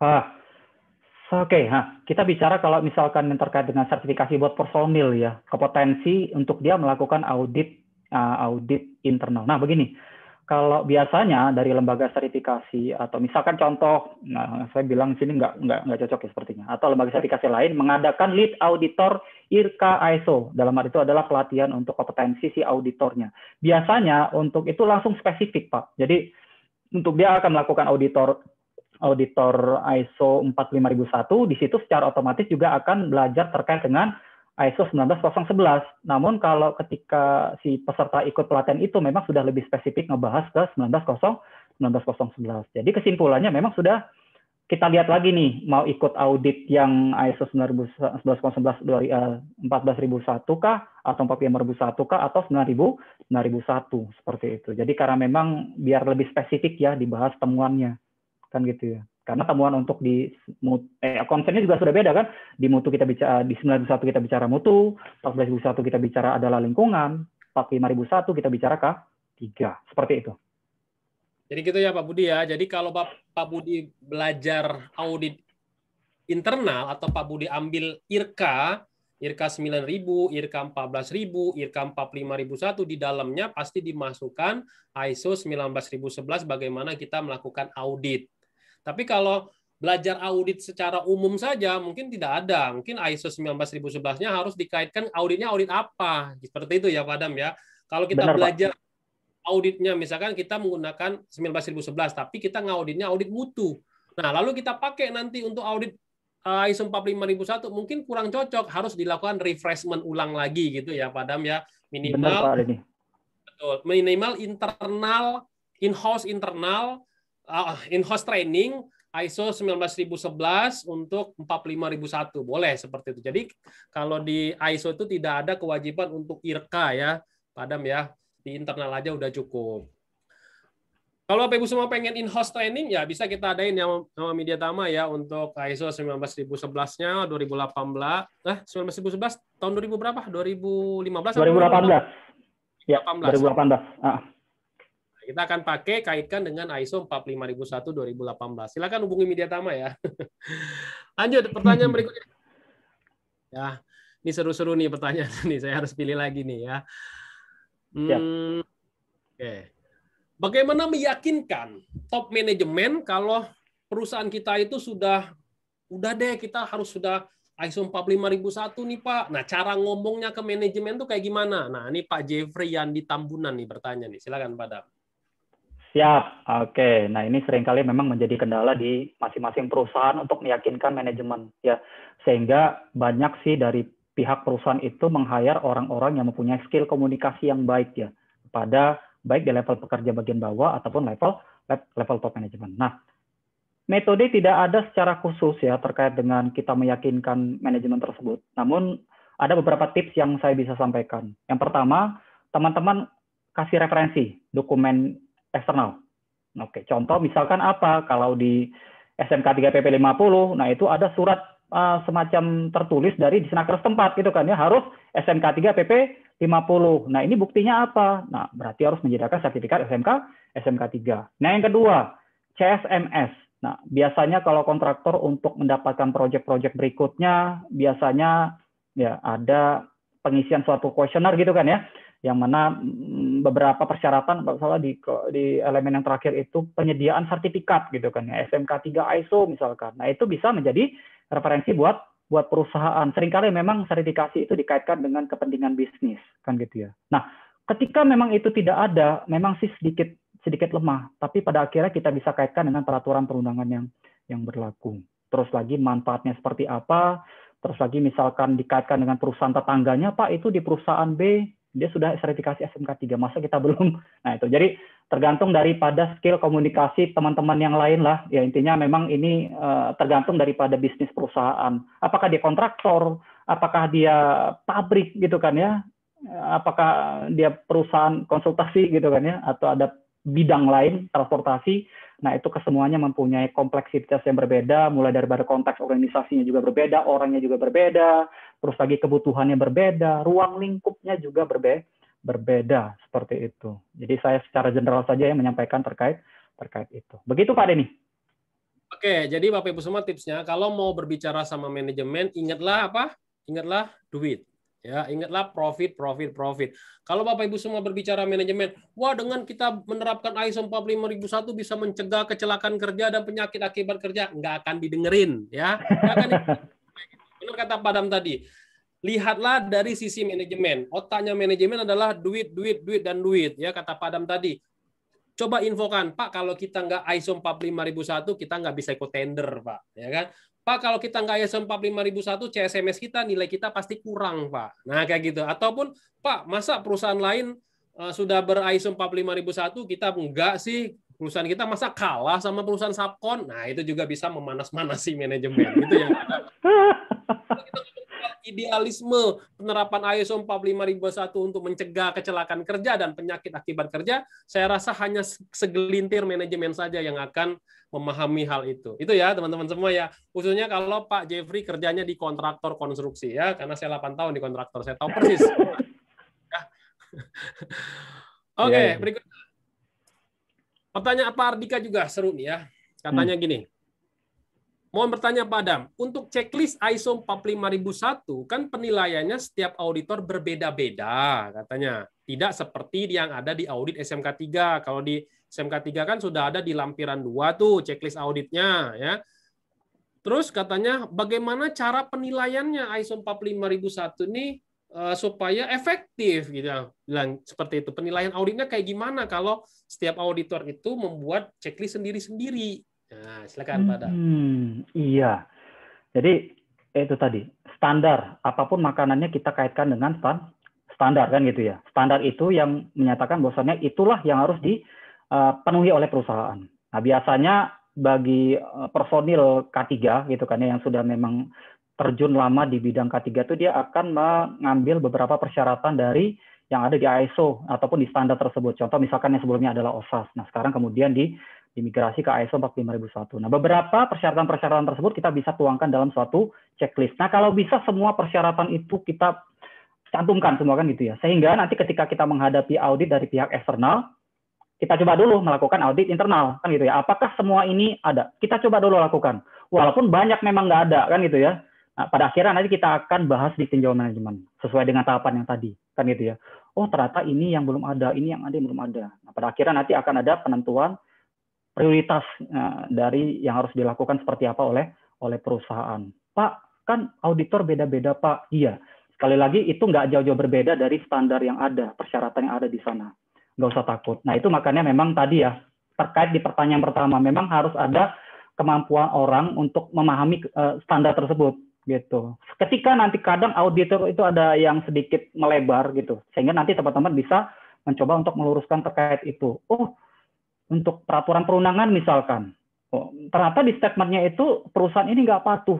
No, jadi kalau misalkan kita bicaranya adalah audit dari ISO, itu tidak ada statement itu perusahaan terkait patuh atau tidak. Tapi bagaimana caranya perusahaan tersebut akan memenuhi terkait dengan persyaratan tersebut, misalkan terkait dengan sekretaris P2K3 atau P P2K3 tersebut, ya. Jadi Nah itu teman-teman memang nah itulah salah satu kegunaan teman-teman ikut lead auditor. Nah itu salah satunya adalah untuk mempelajari yang lebih spesifiknya ya ke ISO 45001 terkait dengan persyaratan-persyaratan ada. Saran saya teman-teman pelajari dulu yang klausul-klausul tadi itu. Berikutnya ikutlah auditor uh, lead auditor.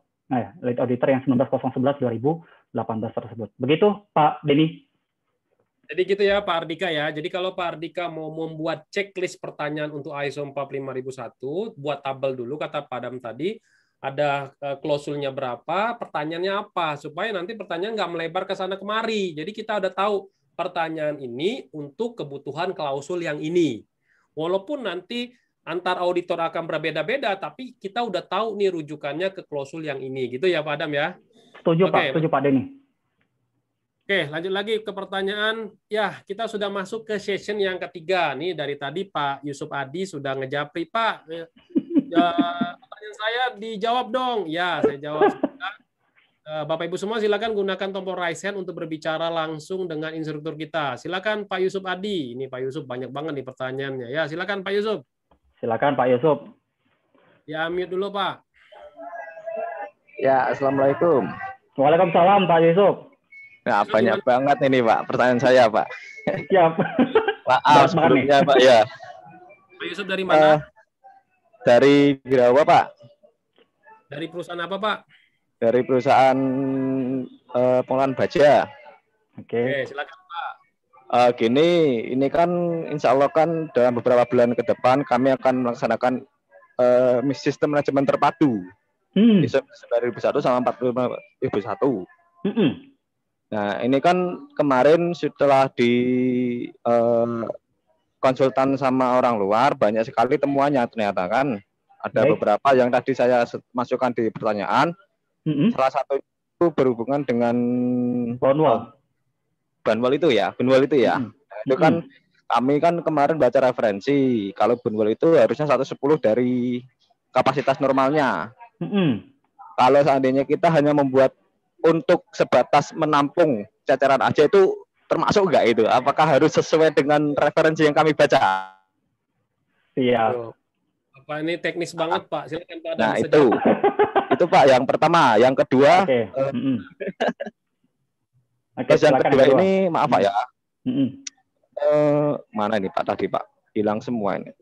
Nah ini Pak untuk bisa mengetahui kebutuhan dan harapan khususnya dari pihak berkepentingan itu bagaimana langkahnya Pak? Terima kasih. Dua itu aja dulu Pak ya. Dulu ya. ya Pak ya pertanyaan Bapak ya.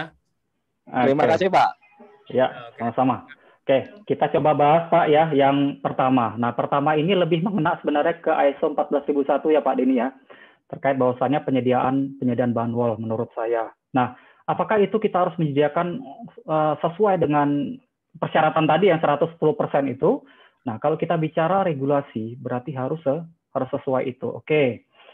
Mohon izin ya, ini berarti agak melenceng sedikit ke ISO 14001. Nah, misalkan teman-teman punya tong tong tong banyak gitu kan ya, Nah, atau kemudian sebenarnya apakah 110% itu dikaitkan semua tong itu? Tidak, kita hitung aja cuma satu. Karena biasanya kalau terkait dengan kebocoran segala macam, nggak semuanya bocor. Kadang cuma satu aja yang bocor.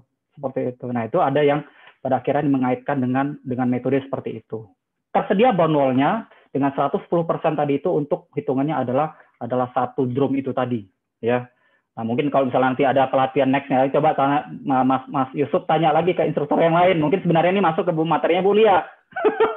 iya, ya, ya mungkin nanti ada materi berikutnya lebih spesifik. Nah, itu kita Mas Yusuf coba coba tanyakan lagi. Oke, pertanyaan yang kedua. Nah, untuk menentukan kebutuhan dan harapan tersebut, nah bagaimana caranya Pak? Iya, sebenarnya tadi itulah gunanya saya mencantumkan proses gitu kan ya, OS proses. Kita nggak mulai dari klausul 4, tapi klausul 5 yang mana kita tetapkan komitmen manajemen dan kepemimpinannya gitu kan ya dan juga ada yang kedua tadi adalah proses konsultasi dan part partisipasi artinya apa di sana ada suatu event semacam suatu pertemuan gitu kan ya pertemuan nggak banyak-banyak bisa tiga orang empat orang cukup gitu kan ya dalam hal yang mana di sana sudah dihadiri salah satu pekerja yang menjadi perwakilan perwakilan pekerja ya untuk mengetahui kebutuhan mereka sejauh ini apa saja oh Pak, ternyata APD kita itu selama ini nggak enak pakai Pak. Nah ini bagaimana? Nah itu semua coba disampaikan di sana. Oh Pak, selama ini kita lemburan itu dibayar tidak full Pak. Nah terus lagi THR, wah makan banyak itu segala macam kebutuhan pekerja disampaikan ke top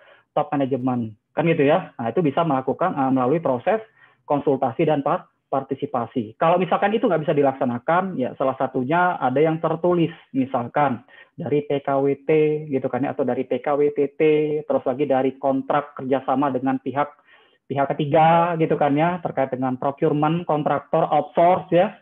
Nah itu kita bisa lakukan. Terus lagi kalau tadi kan ada komunikasi eksternal, maka misalkan saya ambil contoh di Chevron sendiri itu mereka melakukan setiap setahun sekali untuk pertemuan dengan pihak-pihak vendor, subkontraktor dipertemukan dalam acara itu untuk menginformasikan terkait dengan KPI dan segala macam, terkait dengan tata cara untuk menjadi rekanan.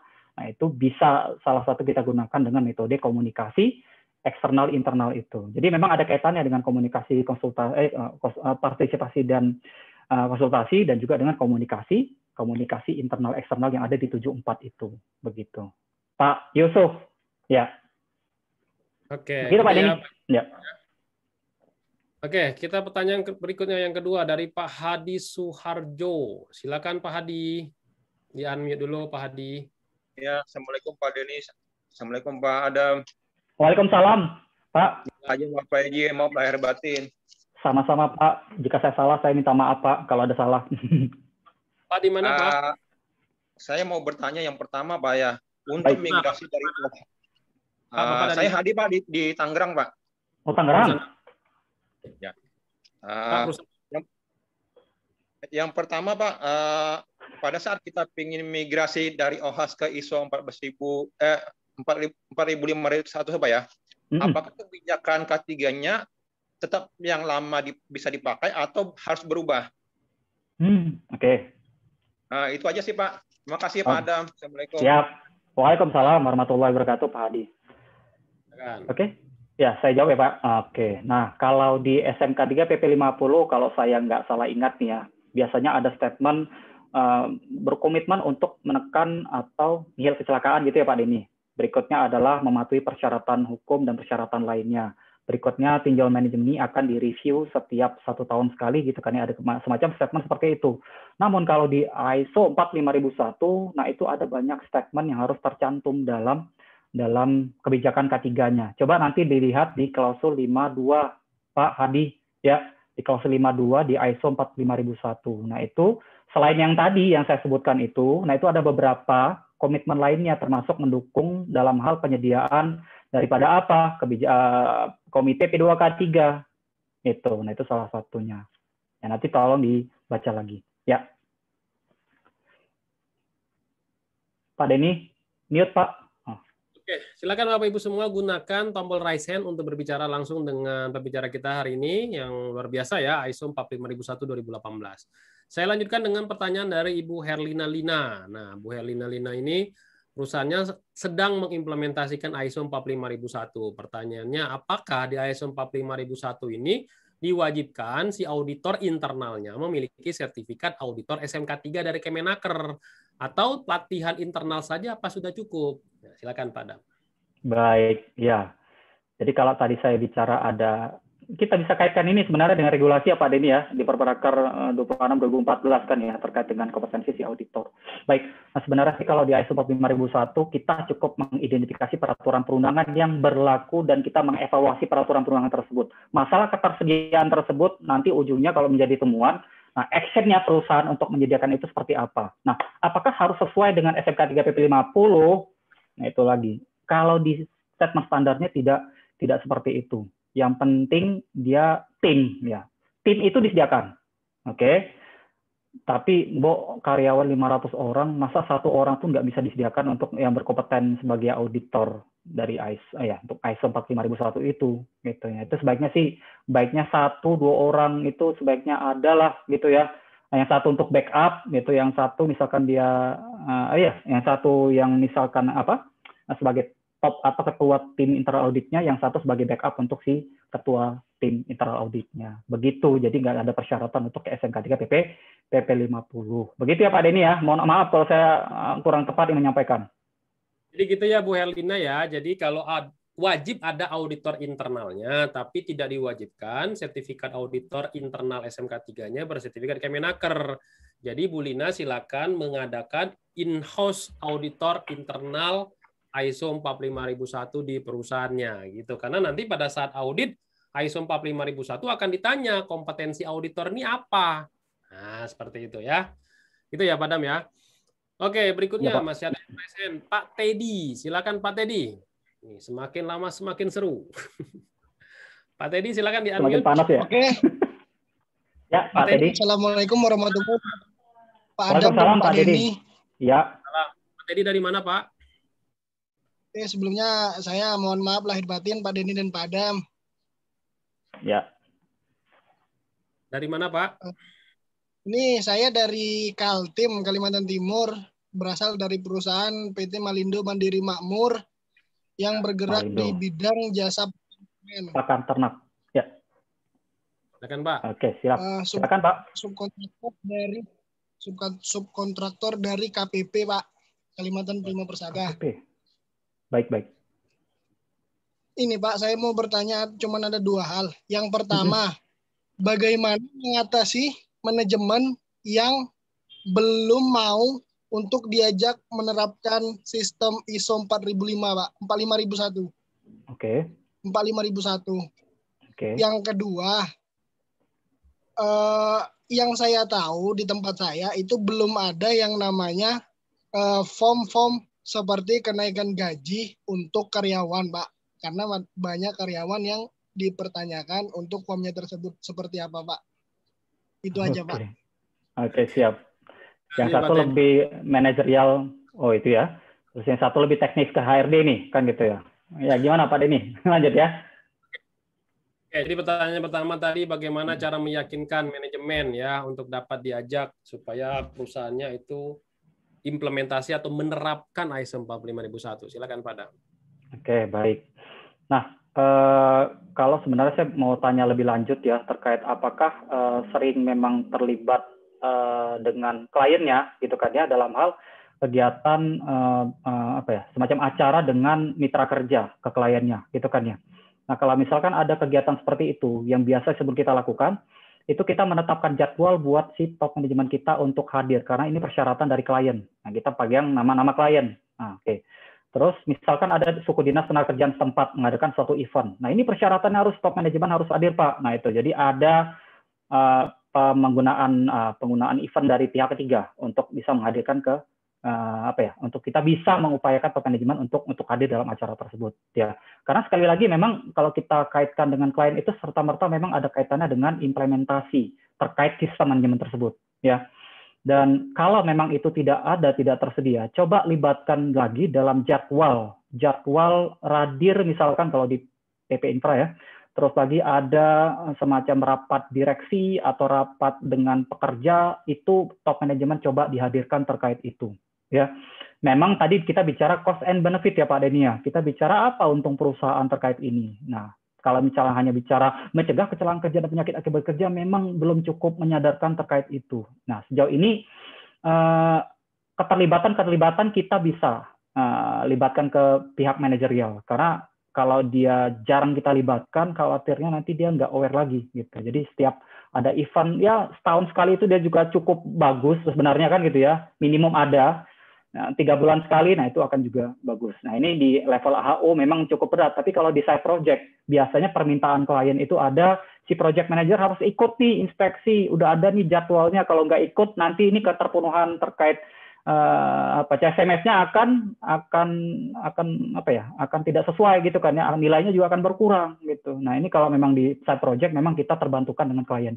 Tapi kalau di HO, nah memang itu salah satu keterkendalaan yang memang selama ini di alami oleh personil K3. Seperti itu ya, coba dilibatkan banyak terkait dengan event-event konsultasi partisipasi yang tadi saya sempat uh, sampaikan. Begitu Pak Denny. Jadi gitu ya. Jadi kalau mau meyakinkan manajemen kata Pak Dam tadi pakai tangan pihak eksternal. Boleh ke si Bapak tadi kerja sama ke KPP ya tadi ya. Minta KPP-nya tuh wajib datang tuh direktur gitu kan ya. Atau minta dari disnaker. Oh, disnaker ngomong kayak gini ya. Pakai tangan itu ya ataupun pada saat audit uh, ISMK 3 atau audit ISO 45001 manajemen wajib hadir pada saat pembukaan dan penutupan. Nah, kayak gitu bisa kita gunakan pihak tangan pihak eksternal. Kalau misalkan di internal sendiri tidak bisa ngomong ke manajemen gitu ya Pak Teddy ya kata Pak Adam tadi. Lalu berikutnya, nah kalau mengenai gaji tadi itu di luar dari konteks pembicaraan kita ya. Jadi kita akan hold dulu. Silakan Bapak Ibu semua itu tanya ke bagian HRD-nya ya. Itu tidak masuk ke dalam ISO 45001 gitu ya Pak Adam ya. Iya, sebenarnya. Kita nggak usah bahas di sana karena itu di internal perusahaan ya. Oke, ini pertanyaan juga menarik nih dari Pak Hermawan Syahmanik. Dia bilang kayak gini, negara kita sudah punya SMK 3 Kemenaker, ya. Hmm. Apakah ini apakah ini sudah cukup? Apakah ini saja tidak cukup untuk diterapkan? Kenapa harus ada ISO 45001 lagi? Nah, silakan Pak Adam. Ya, siap. Nah, ini menarik nih.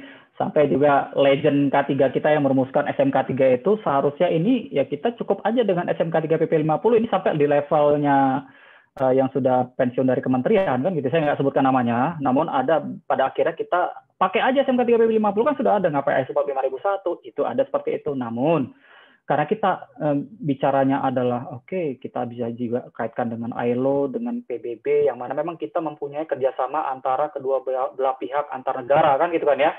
Nah sehingga memang ada semacam kegiatan perdagangan gitu kan ya. Terus lagi dan pada akhirnya memang eh, itu semua ada ada standarnya termasuk ya 9001 terkait dengan standar quality produknya atau standar quality manajemennya terus lagi terkait dengan uh, lingkungannya sehingga ada proper gitu kan ya teman-teman. Nah terus lagi ada SMK 3-nya yang ISO. Nah itu semua kalau misalkan perusahaan yang biasanya yaitu kan ya, dari luar Indonesia biasanya dia tidak mencaratkan SMK 3 PP50 tapi adalah ISO 45001. Tapi pun karena perusahaan tersebut biasanya sudah lama berdiri di Indonesia, biasanya mereka minta keduanya. Begitu. Ya, jadi sekali lagi memang keterkaitannya dengan kebutuhan bisnis perusahaan. Seperti itu, uh, seperti itu Pak ini. Iya Pak Hermawan ya. Jadi IS 45001 itu diakui secara dunia, tapi kalau untuk SMK 3 hanya untuk di lokal perusahaan. Jadi itu hanya ini kebutuhan dari bisnis ya. Jadi kalau misalkan ada kata Padam tadi, perusahaan dari luar negeri datang ke Indonesia, terus dia membuka tender untuk para subkonnya, dia akan minta dia lebih familiar ke ISO 45001. Jadi itu ya kenapa harus ada ISO 45001 juga selain SMK 3. Oke, berikutnya dari Pak Jamie Taufik. Nah, dia juga agak teknis nih ya. Dalam implementasi ISO 45001, apakah juga harus mengikuti kompetensi sama dengan SMK 3 seperti menyediakan training damkar P3K yang tersertifikasi Kemenaker RI? Silakan Pak Dal.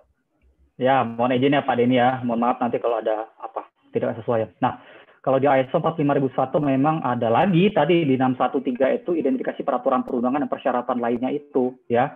Tapi ketika memang tidak terpenuhi terkait dengan peraturan perundangan itu, maka tidak dalam pemenuhan hasil auditnya itu ya, tindakan perbaikannya tidak serta-merta harus menyediakan personel tersebut, tapi bagaimana caranya memenuhi persyaratan persyaratan tersebut. Apakah ada kewajiban dalam dan segala macam? Tidak ada. Tapi harus menyediakan personil yang berkompeten untuk di situasi tanggap darurat di 82 tadi yang tadi saya sempat sampaikan. Uh, dokumen prosesnya ada, timnya juga ada, baik Damkar dan juga P3K itu termasuk, ya. Tapi apa harus sertifikasi Kemenaker? Nah, itu tidak ada persyaratan harus state sertifikasi Kemenaker, ya. Terus lagi terkait dengan uh, kejadian tanggap daruratnya seperti apa? Ya, apakah gempa, tsunami, terus lagi ada angin puting beliung dan beberapa misalkan huru hara, demonstrasi, ancaman bom, itu harus terstate dalam dokumen prosesnya. Terus lagi kegiatan realnya gitu kan ya, juga harus harus ada, teman-teman. Oke, seperti itu Pak Dini. Jadi gitu ya Pak Bu ya. ISO 45001 tidak mewajibkan ada training damkar dan P3K yang tersertifikasi Kemenaker, tapi di dalam ISO 45001 ada klausul untuk kepatuhan regulasi di sana. Nah, walaupun tidak diwajibkan sertifikasi Kemenaker, nanti auditor ISO 45001 akan menguji ya apakah si anggota dari Damkar atau P3K ini sudah berkompeten atau belum. Nanti melihat dari seperti modulnya, seperti instrukturnya siapa yang ngajar, apakah dilakukan secara benar dengan konsisten, ya kan? Nah, itu akan diuji di sana, ya. Nah, mungkin nanti kalau misalkan harus bersertifikasi Kemenaker, mungkin tidak jadi temuan, tapi masuknya ke observasi nanti disarankan seperti itu. Kalau misalkan bukti-bukti dokumen di dalam ISO 45001 belum mencukupi untuk kebutuhan di ISO 45001 terkait dengan kompetensi. Itu ya, Pak Adam ya. Ya, Pak ini. Oke, berikutnya. Nah, Pak Yusuf Adi masih bertanya lagi. Silakan, Pak Yusuf. Silakan nih, masih ada waktu ya Pak Dini ya. Silakan ya. Pak Yusuf. Assalamualaikum. Waalaikumsalam. Wah, Panjang umur. Maaf ini. Monggo Pak. Ya Pak, maaf sebelumnya Pak ya. Yep. Sekali lagi dari PT Birawa Surabaya. Uh, ini yang mau saya tanyakan kan kemarin kan kami juga sempat konsultasi juga yang tadi saya bicarakan tentang uh, sistem manajemen integrasi 45.000 sama 9.000. Di sini kan kemarin kami mendapatkan pernyataan waktu di perusahaan X itu diaudit semuanya ada yang berhubungan dengan kategori lingkungan juga. Lalu di situ eh, kalau akhirnya mendapatkan temuan kalau tidak ada ke ketiga lingkungan atau ahli ketiga lingkungan itu termasuk dalam temuan, Pak. Itu apakah benar apa tidak? Itu yang okay. pertama, Pak. Okay. Yang nah. kedua, eh, kalau dari perusahaan kami belum ada yang pernah ikut sertifikasi eh, ISO 45001 itu juga termasuk teman apa tidak? Oke. Okay. Begitu. Oke. Okay. Itu dulu Pak ya. Terima kasih Pak. dulu ya. Oke. Okay. Sekali lagi dulu. Masih berarti ada susulan lagi Pak Denny. Ya. Oke. Okay. Ah. Adam, jadi uh, seseorang di perusahaan harus ada ahli K3 lingkungan. Saya baru dengar ini, ahli K3 lingkungan ya. Nah, itu dulu Pak Adam. Silakan. Baik. K3 lingkungan dengan K3 lingkungan kerja bedanya apa ya? Kalau K3 lingkungan mungkin lebih tepatnya ke ke ke, ke, ke, ke apa ke, ke lingkungan atau ke, ke, ke mutu gitu kan ya terkait dengan produk. Tapi K3 lingkungan kerja terkait dengan pekerjanya. Ya.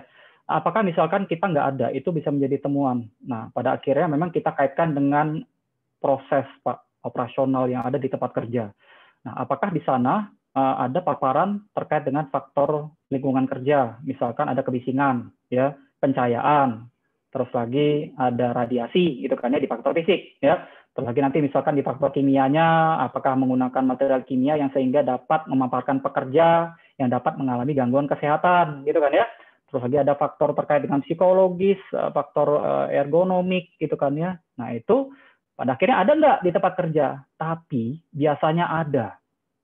Apakah itu harus kita sediakan personilnya? Nah, sekali lagi, kalau kita bicara kompetensi berarti orang yang uh, um, PIC yang melakukan terkait penanganan itu itu harus tersedia. Nah, kalau kita bicara terkait dengan Permenaker 5 18, apakah harus disediakan seperti itu? Nah, sekali lagi, 613 identifikasi peraturan perundangan, evaluasi kepatuhan, Nah, itu ada statement kita menyediakan ahli K3 lingkungan kerja. Ketika nggak dipatuhi, lead auditor akan menyampaikan, bisa jadi yang mirip yang tadi ya Pak Denny, bisa jadi adalah berupa observ observasi. Jikapun misalkan gini nih di tempat kerja lain itu mereka secara global misalkan perusahaan mereka itu based on-nya di Inggris gitu kan ya di beberapa area di dunia contohnya di Indonesia itu ada. Nah, mereka standarnya ada gitu kan ya pelatihan terkait melakukan pengukuran lingkungan kerja. Nah, itu apakah sudah mencukupi? Nah, kalau di ISO yang mana di sana sudah dibahas itu kan ya terkait materi tadi ya, materi terkait uh, faktor pelindungan fisik, terus lagi terkait dengan uh, radiasi dan segala macam, itu dibahas di sana dan instrukturnya juga berkompeten dan bagaimana cara melakukannya, nah itu bisa jadi memenuhi teman-teman. Iya, tapi kalau misalkan ada, ada permintaan terkait dengan sertifikasi Kemenaker, kalau auditor yang menyampaikan seperti itu, mungkin dengan bahasa yang lebih tepat, bahasa yang lebih tepat ketika memang berhubungan dengan ketidakpatuh apa uh, evaluasi kepatuhan ya, terkait dengan uh, peraturan perundangan yang berlaku di Permenaker 5 2018 sebagai contoh. Begitu Pak Denny. Itu ya Pak Yusuf Adi ya. Jadi ahli K3 lingkungan kerja maksudnya ya, bukan K3 lingkung uh, bukan yang lingkungan yang ISO 14001. Jadi diwajibkan atau tidak kata Pak Adam tadi ya kalau misalkan di ISO 45001 ada klausul eh, kepatuhan regulasi mungkin di sana kenanya tapi kalau misalkan kompetensinya itu boleh nggak mesti dari sertifikasi Kemenaker dilakukan secara in-house atau yang non Kemenaker pun diperbolehkan asalkan terpenuhi semua persyaratan mengadakan pelatihan seperti modul, siapa yang ngajarnya, di mana tempat pelatihannya gitu ya, Pak Dam ya. Ya Pak. Oke, ya, itu ya Bapak Ibu semua ya untuk uh, ahli K3 lingkungan kerja linker kalau orang bisa bilangnya. Satu lagi nih kita jawab nih. Dari Pak Sudirman, Pak Sudirman masih ada nggak ya? Kalau Pak Sudirman udah nggak ada, oh masih ada. Pak Sudirman nanya kayak gini, Pak, berikan contoh Pak untuk peluang di pasal 5 katanya bilang kayak gitu. Peluang tuh kayak gimana Pak yang ada di pasal 5? Maksudnya klausul 5 kali ya. Baik. Uh... Slide-nya mungkin ada yang kelewat tadi Pak. Oke. Oke, okay, gini. Sebentar ya, saya tunjukkan sebagai contoh itu uang. Uh, cukup berbeda dari penilaiannya. Mohon izin. Itu juga referensi saya juga dapatkan dari salah satu guru saya, Pak Denny sudah cukup kenal namanya Pak Emmanuel Eko Haryanto, bahwasanya beliau itu kemarin sempat sharing banyak ya terkait dengan peluang. Kapan nih Pak Adam ngadain terkait dengan materi itu gitu kan ya, sharingnya bagaimana. Nah, Pak M memberikan beberapa referensi, salah satunya ini saya coba tunjukkan ya. Oke ini berupa file PDF. Sedang loading, mohon izin. Mohon bersabar, baik. Uh,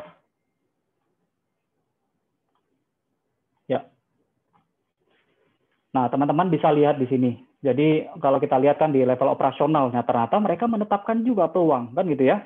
Nah, ada aktivitas general operation. Nah, terkait di sana ada workshop, ada kantor dan juga ada operational support. Oke, okay. opportunity-nya mereka uh, melakukan apa? Pencapaian target kerja, produktivitas dan K3L. Beberapa di antaranya ada penetapan KPI proyek, terus lagi tuntutan persyaratan peraturan perundangan, ekspektasi pekerja untuk pencapaian, persyaratan kontrak K3 atau CSMS. Nah, positif konsekuensinya. Jadi si perusahaan ini menyatakan peluangnya seperti itu berupa kegiatan, tapi konsekuensinya juga disampaikan terkait dengan peluang tersebut ya. Konsekuensi yang lebih menguntungkan kan gitu ya. Menguntungkan buat uh, operasional bisnis perusahaan. Yang mana di sini Kesuksesan mencapai lagging dan leading indikator proyek hingga dua tahun, kesempatan penciptaan budaya departemen, meningkatkan tingkat kepercayaan atau reputasi di tingkat lokal, perolehan apresiasi dari klien untuk mendapatkan kontrak lainnya. Nah, di sini eh, kalau saya lihat apakah eh, memenuhi, nah kalau memang sudah ada terkait dengan dampak daripada pemenuhan ini, nah ini sebenarnya sudah sudah memenuhi. Nah, untuk yang sampai kepada di inisial risk eh, sehingga memunculkan suatu apa ya suatu nilai. Nah, kalau di ISO 5001 ini tidak perlu gitu kan ya. Tapi boleh nggak kita tetapkan? Ya boleh saja. Tinggal teman-teman atur nanti di dokumen prosesnya. Ya kan ya, kalau sudah dinyatakan di dokumen proses berarti mau nggak mau, suka nggak suka, teman-teman harus menyediakan juga uh, bukti penilaiannya. Karena sekali lagi audit standar itu, apalagi standar operating prosedur, perusahaan sudah ngebuat itu, berarti harus di patuhi harus di, dibuatkan. Tapi kalau misalnya saya bagi perusahaan yang ingin memulai, baiknya jangan dicantumkan untuk penilaian terkait dengan peluang tersebut. Karena kalau kita melakukan penilaian peluang akan beberapa akan ada beberapa penentuan kriteria yang harus kita tentukan ya dan penilaiannya juga akan berbeda. Nah, kita lihat di sini. Uh, opportunity-nya adalah dua, likelihood-nya adalah empat. Jadi tetap ada likelihood, namun kalau kita bicara risiko adalah berupa efek negatif ya, tapi kalau opportunity adalah uh, efek yang positif dan juga akan ada penilaian daripada peluang tersebut nilainya 8. Nah, mereka menyediakan semacam ada silver gitu kan ya. Ada semacam mirip kalau di risiko itu ada yang low, medium, high, extreme gitu kan ya. Nah, sehingga mereka menetapkan rekomendasinya seperti apa. Ya. Nah, kalau di ISO 45001 kita harus menetapkan juga rekomendasikannya, eh, rekomendasinya. Tinggal nanti kalau tidak menggunakan penilaian ini, nah teman-teman tentukan prioritasnya. Ya. Berikutnya, nah di sini kalau kita lihat dua empat dua kali dua kali empat delapan. Nah ini menjadi empat kali empat. Oh kok begini pak? Kok bisa meningkat? Iya. Karena kalau kita bicara risiko kita akan memanfaatkan memanfaatkan peluangnya kan gitu ya. Untuk eh, kita nggak menurunkan peluang apa ya menurunkan perolehan peluangnya. Kalau risiko kan kita uh, harus menekan menekan risikonya kan gitu ya. Tapi kalau peluang kita manfaatkan peluangnya. Sehingga nanti eh, opportunity akhirnya diharapkan nilainya lebih lebih tinggi dari yang inisial inisial opportunity-nya. Begitu. Dan begitu juga dimasuk yang penilaian yang paling bawah cukup sampai di sini ya. Ini sebagai sebagai contoh teman-teman bisa bisa tetapkan. Ya, tapi kalau di ISO 45001 nggak perlu menetapkan kriteria ini. Kombinasi ini nggak perlu. Tapi kalau risiko di ISO 45001 itu ha, harus ditetapkan kriterianya. Kombinasi likelihood dengan severity atau komi, uh, bisa berupa perkalian atau berupa penam, penambahan. Seperti itu, Pak Denny. Oke, luar biasa ya mengenai peluang. Kalau dikaji terus peluang ini semakin membesar, membesar, membesar, membesar ya. Saya Benar, aja Pak. tambah saya aja ikut tambah bingung tuh menentukan peluang ya. bingung ya bagaimana perbedaan uh, hazard identification, risk assessment, and risk control gitu ya dengan yang opportunity ya antara risk control sama opportunity. Aduh, puyeng juga jadinya. Oke, Bapak Ibu semua, kita sudah di penghujung acara. Sebelum kita tutup, mungkin kita ingin mendengarkan terlebih dahulu closing statement dari pembicara kita yang luar biasa ini Ripa Adam. Sehingga Bapak Ibu semua dapat mengimplementasikan ISO 45001 2018 ini secara efektif dan efisien di tempat kerjanya masing-masing. Pada Padam, saya silakan. Baik, ya uh, Mohon izin Pak Denny, mungkin saya menampilkan suatu video saja boleh? Eh, silakan Pak. Oke. Oke, sebentar.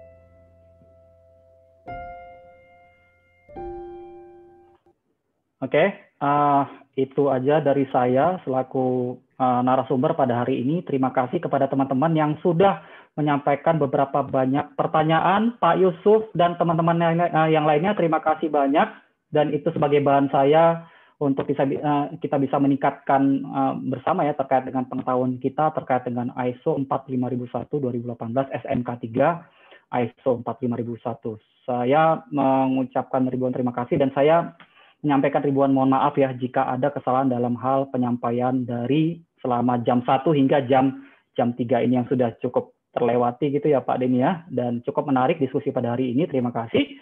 Itu aja dari saya. Wassalamualaikum warahmatullahi wabarakatuh. Assalamualaikum warahmatullahi wabarakatuh. Wah, luar biasa ya materi kita hari ini. Masih banyak pertanyaan-pertanyaan yang belum terjawab. Teman-teman semua dapat mengirimkan email ke email yang tertera saat mendaftar di kolega ya.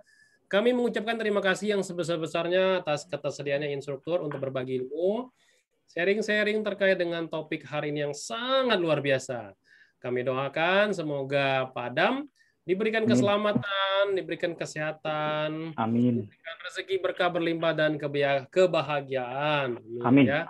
Amin. Bagi teman-teman semua yang sudah mengikuti kolega ini dari awal sampai akhir, kami mengucapkan terima kasih. Semoga ilmu ini dapat bermanfaat di tempat kerja Bapak Ibu semua. Lebih dan kurang, saya mohon maaf. Nama saya Denny sebagai host. Join di grup Telegram kolega Media Tama untuk dapat info cepat link webinar selanjutnya dan dapatkan giveaway ahli K3 umum sertifikasi Kemenak RI untuk satu orang di periode Juni 2021. Pastikan Bapak Ibu semua bergabung di Telegram Media Tama. Saya akhiri bila topik wadaya. Wassalamualaikum warahmatullahi wabarakatuh.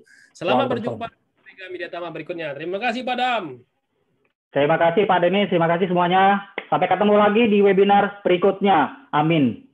Oke, Bapak Ibu semua, ketemu lagi nanti Senin ya. Ada satu lagi webinar gratis juga. Best Practice in Manufaktur dengan Bapak Haryadi. Terima kasih.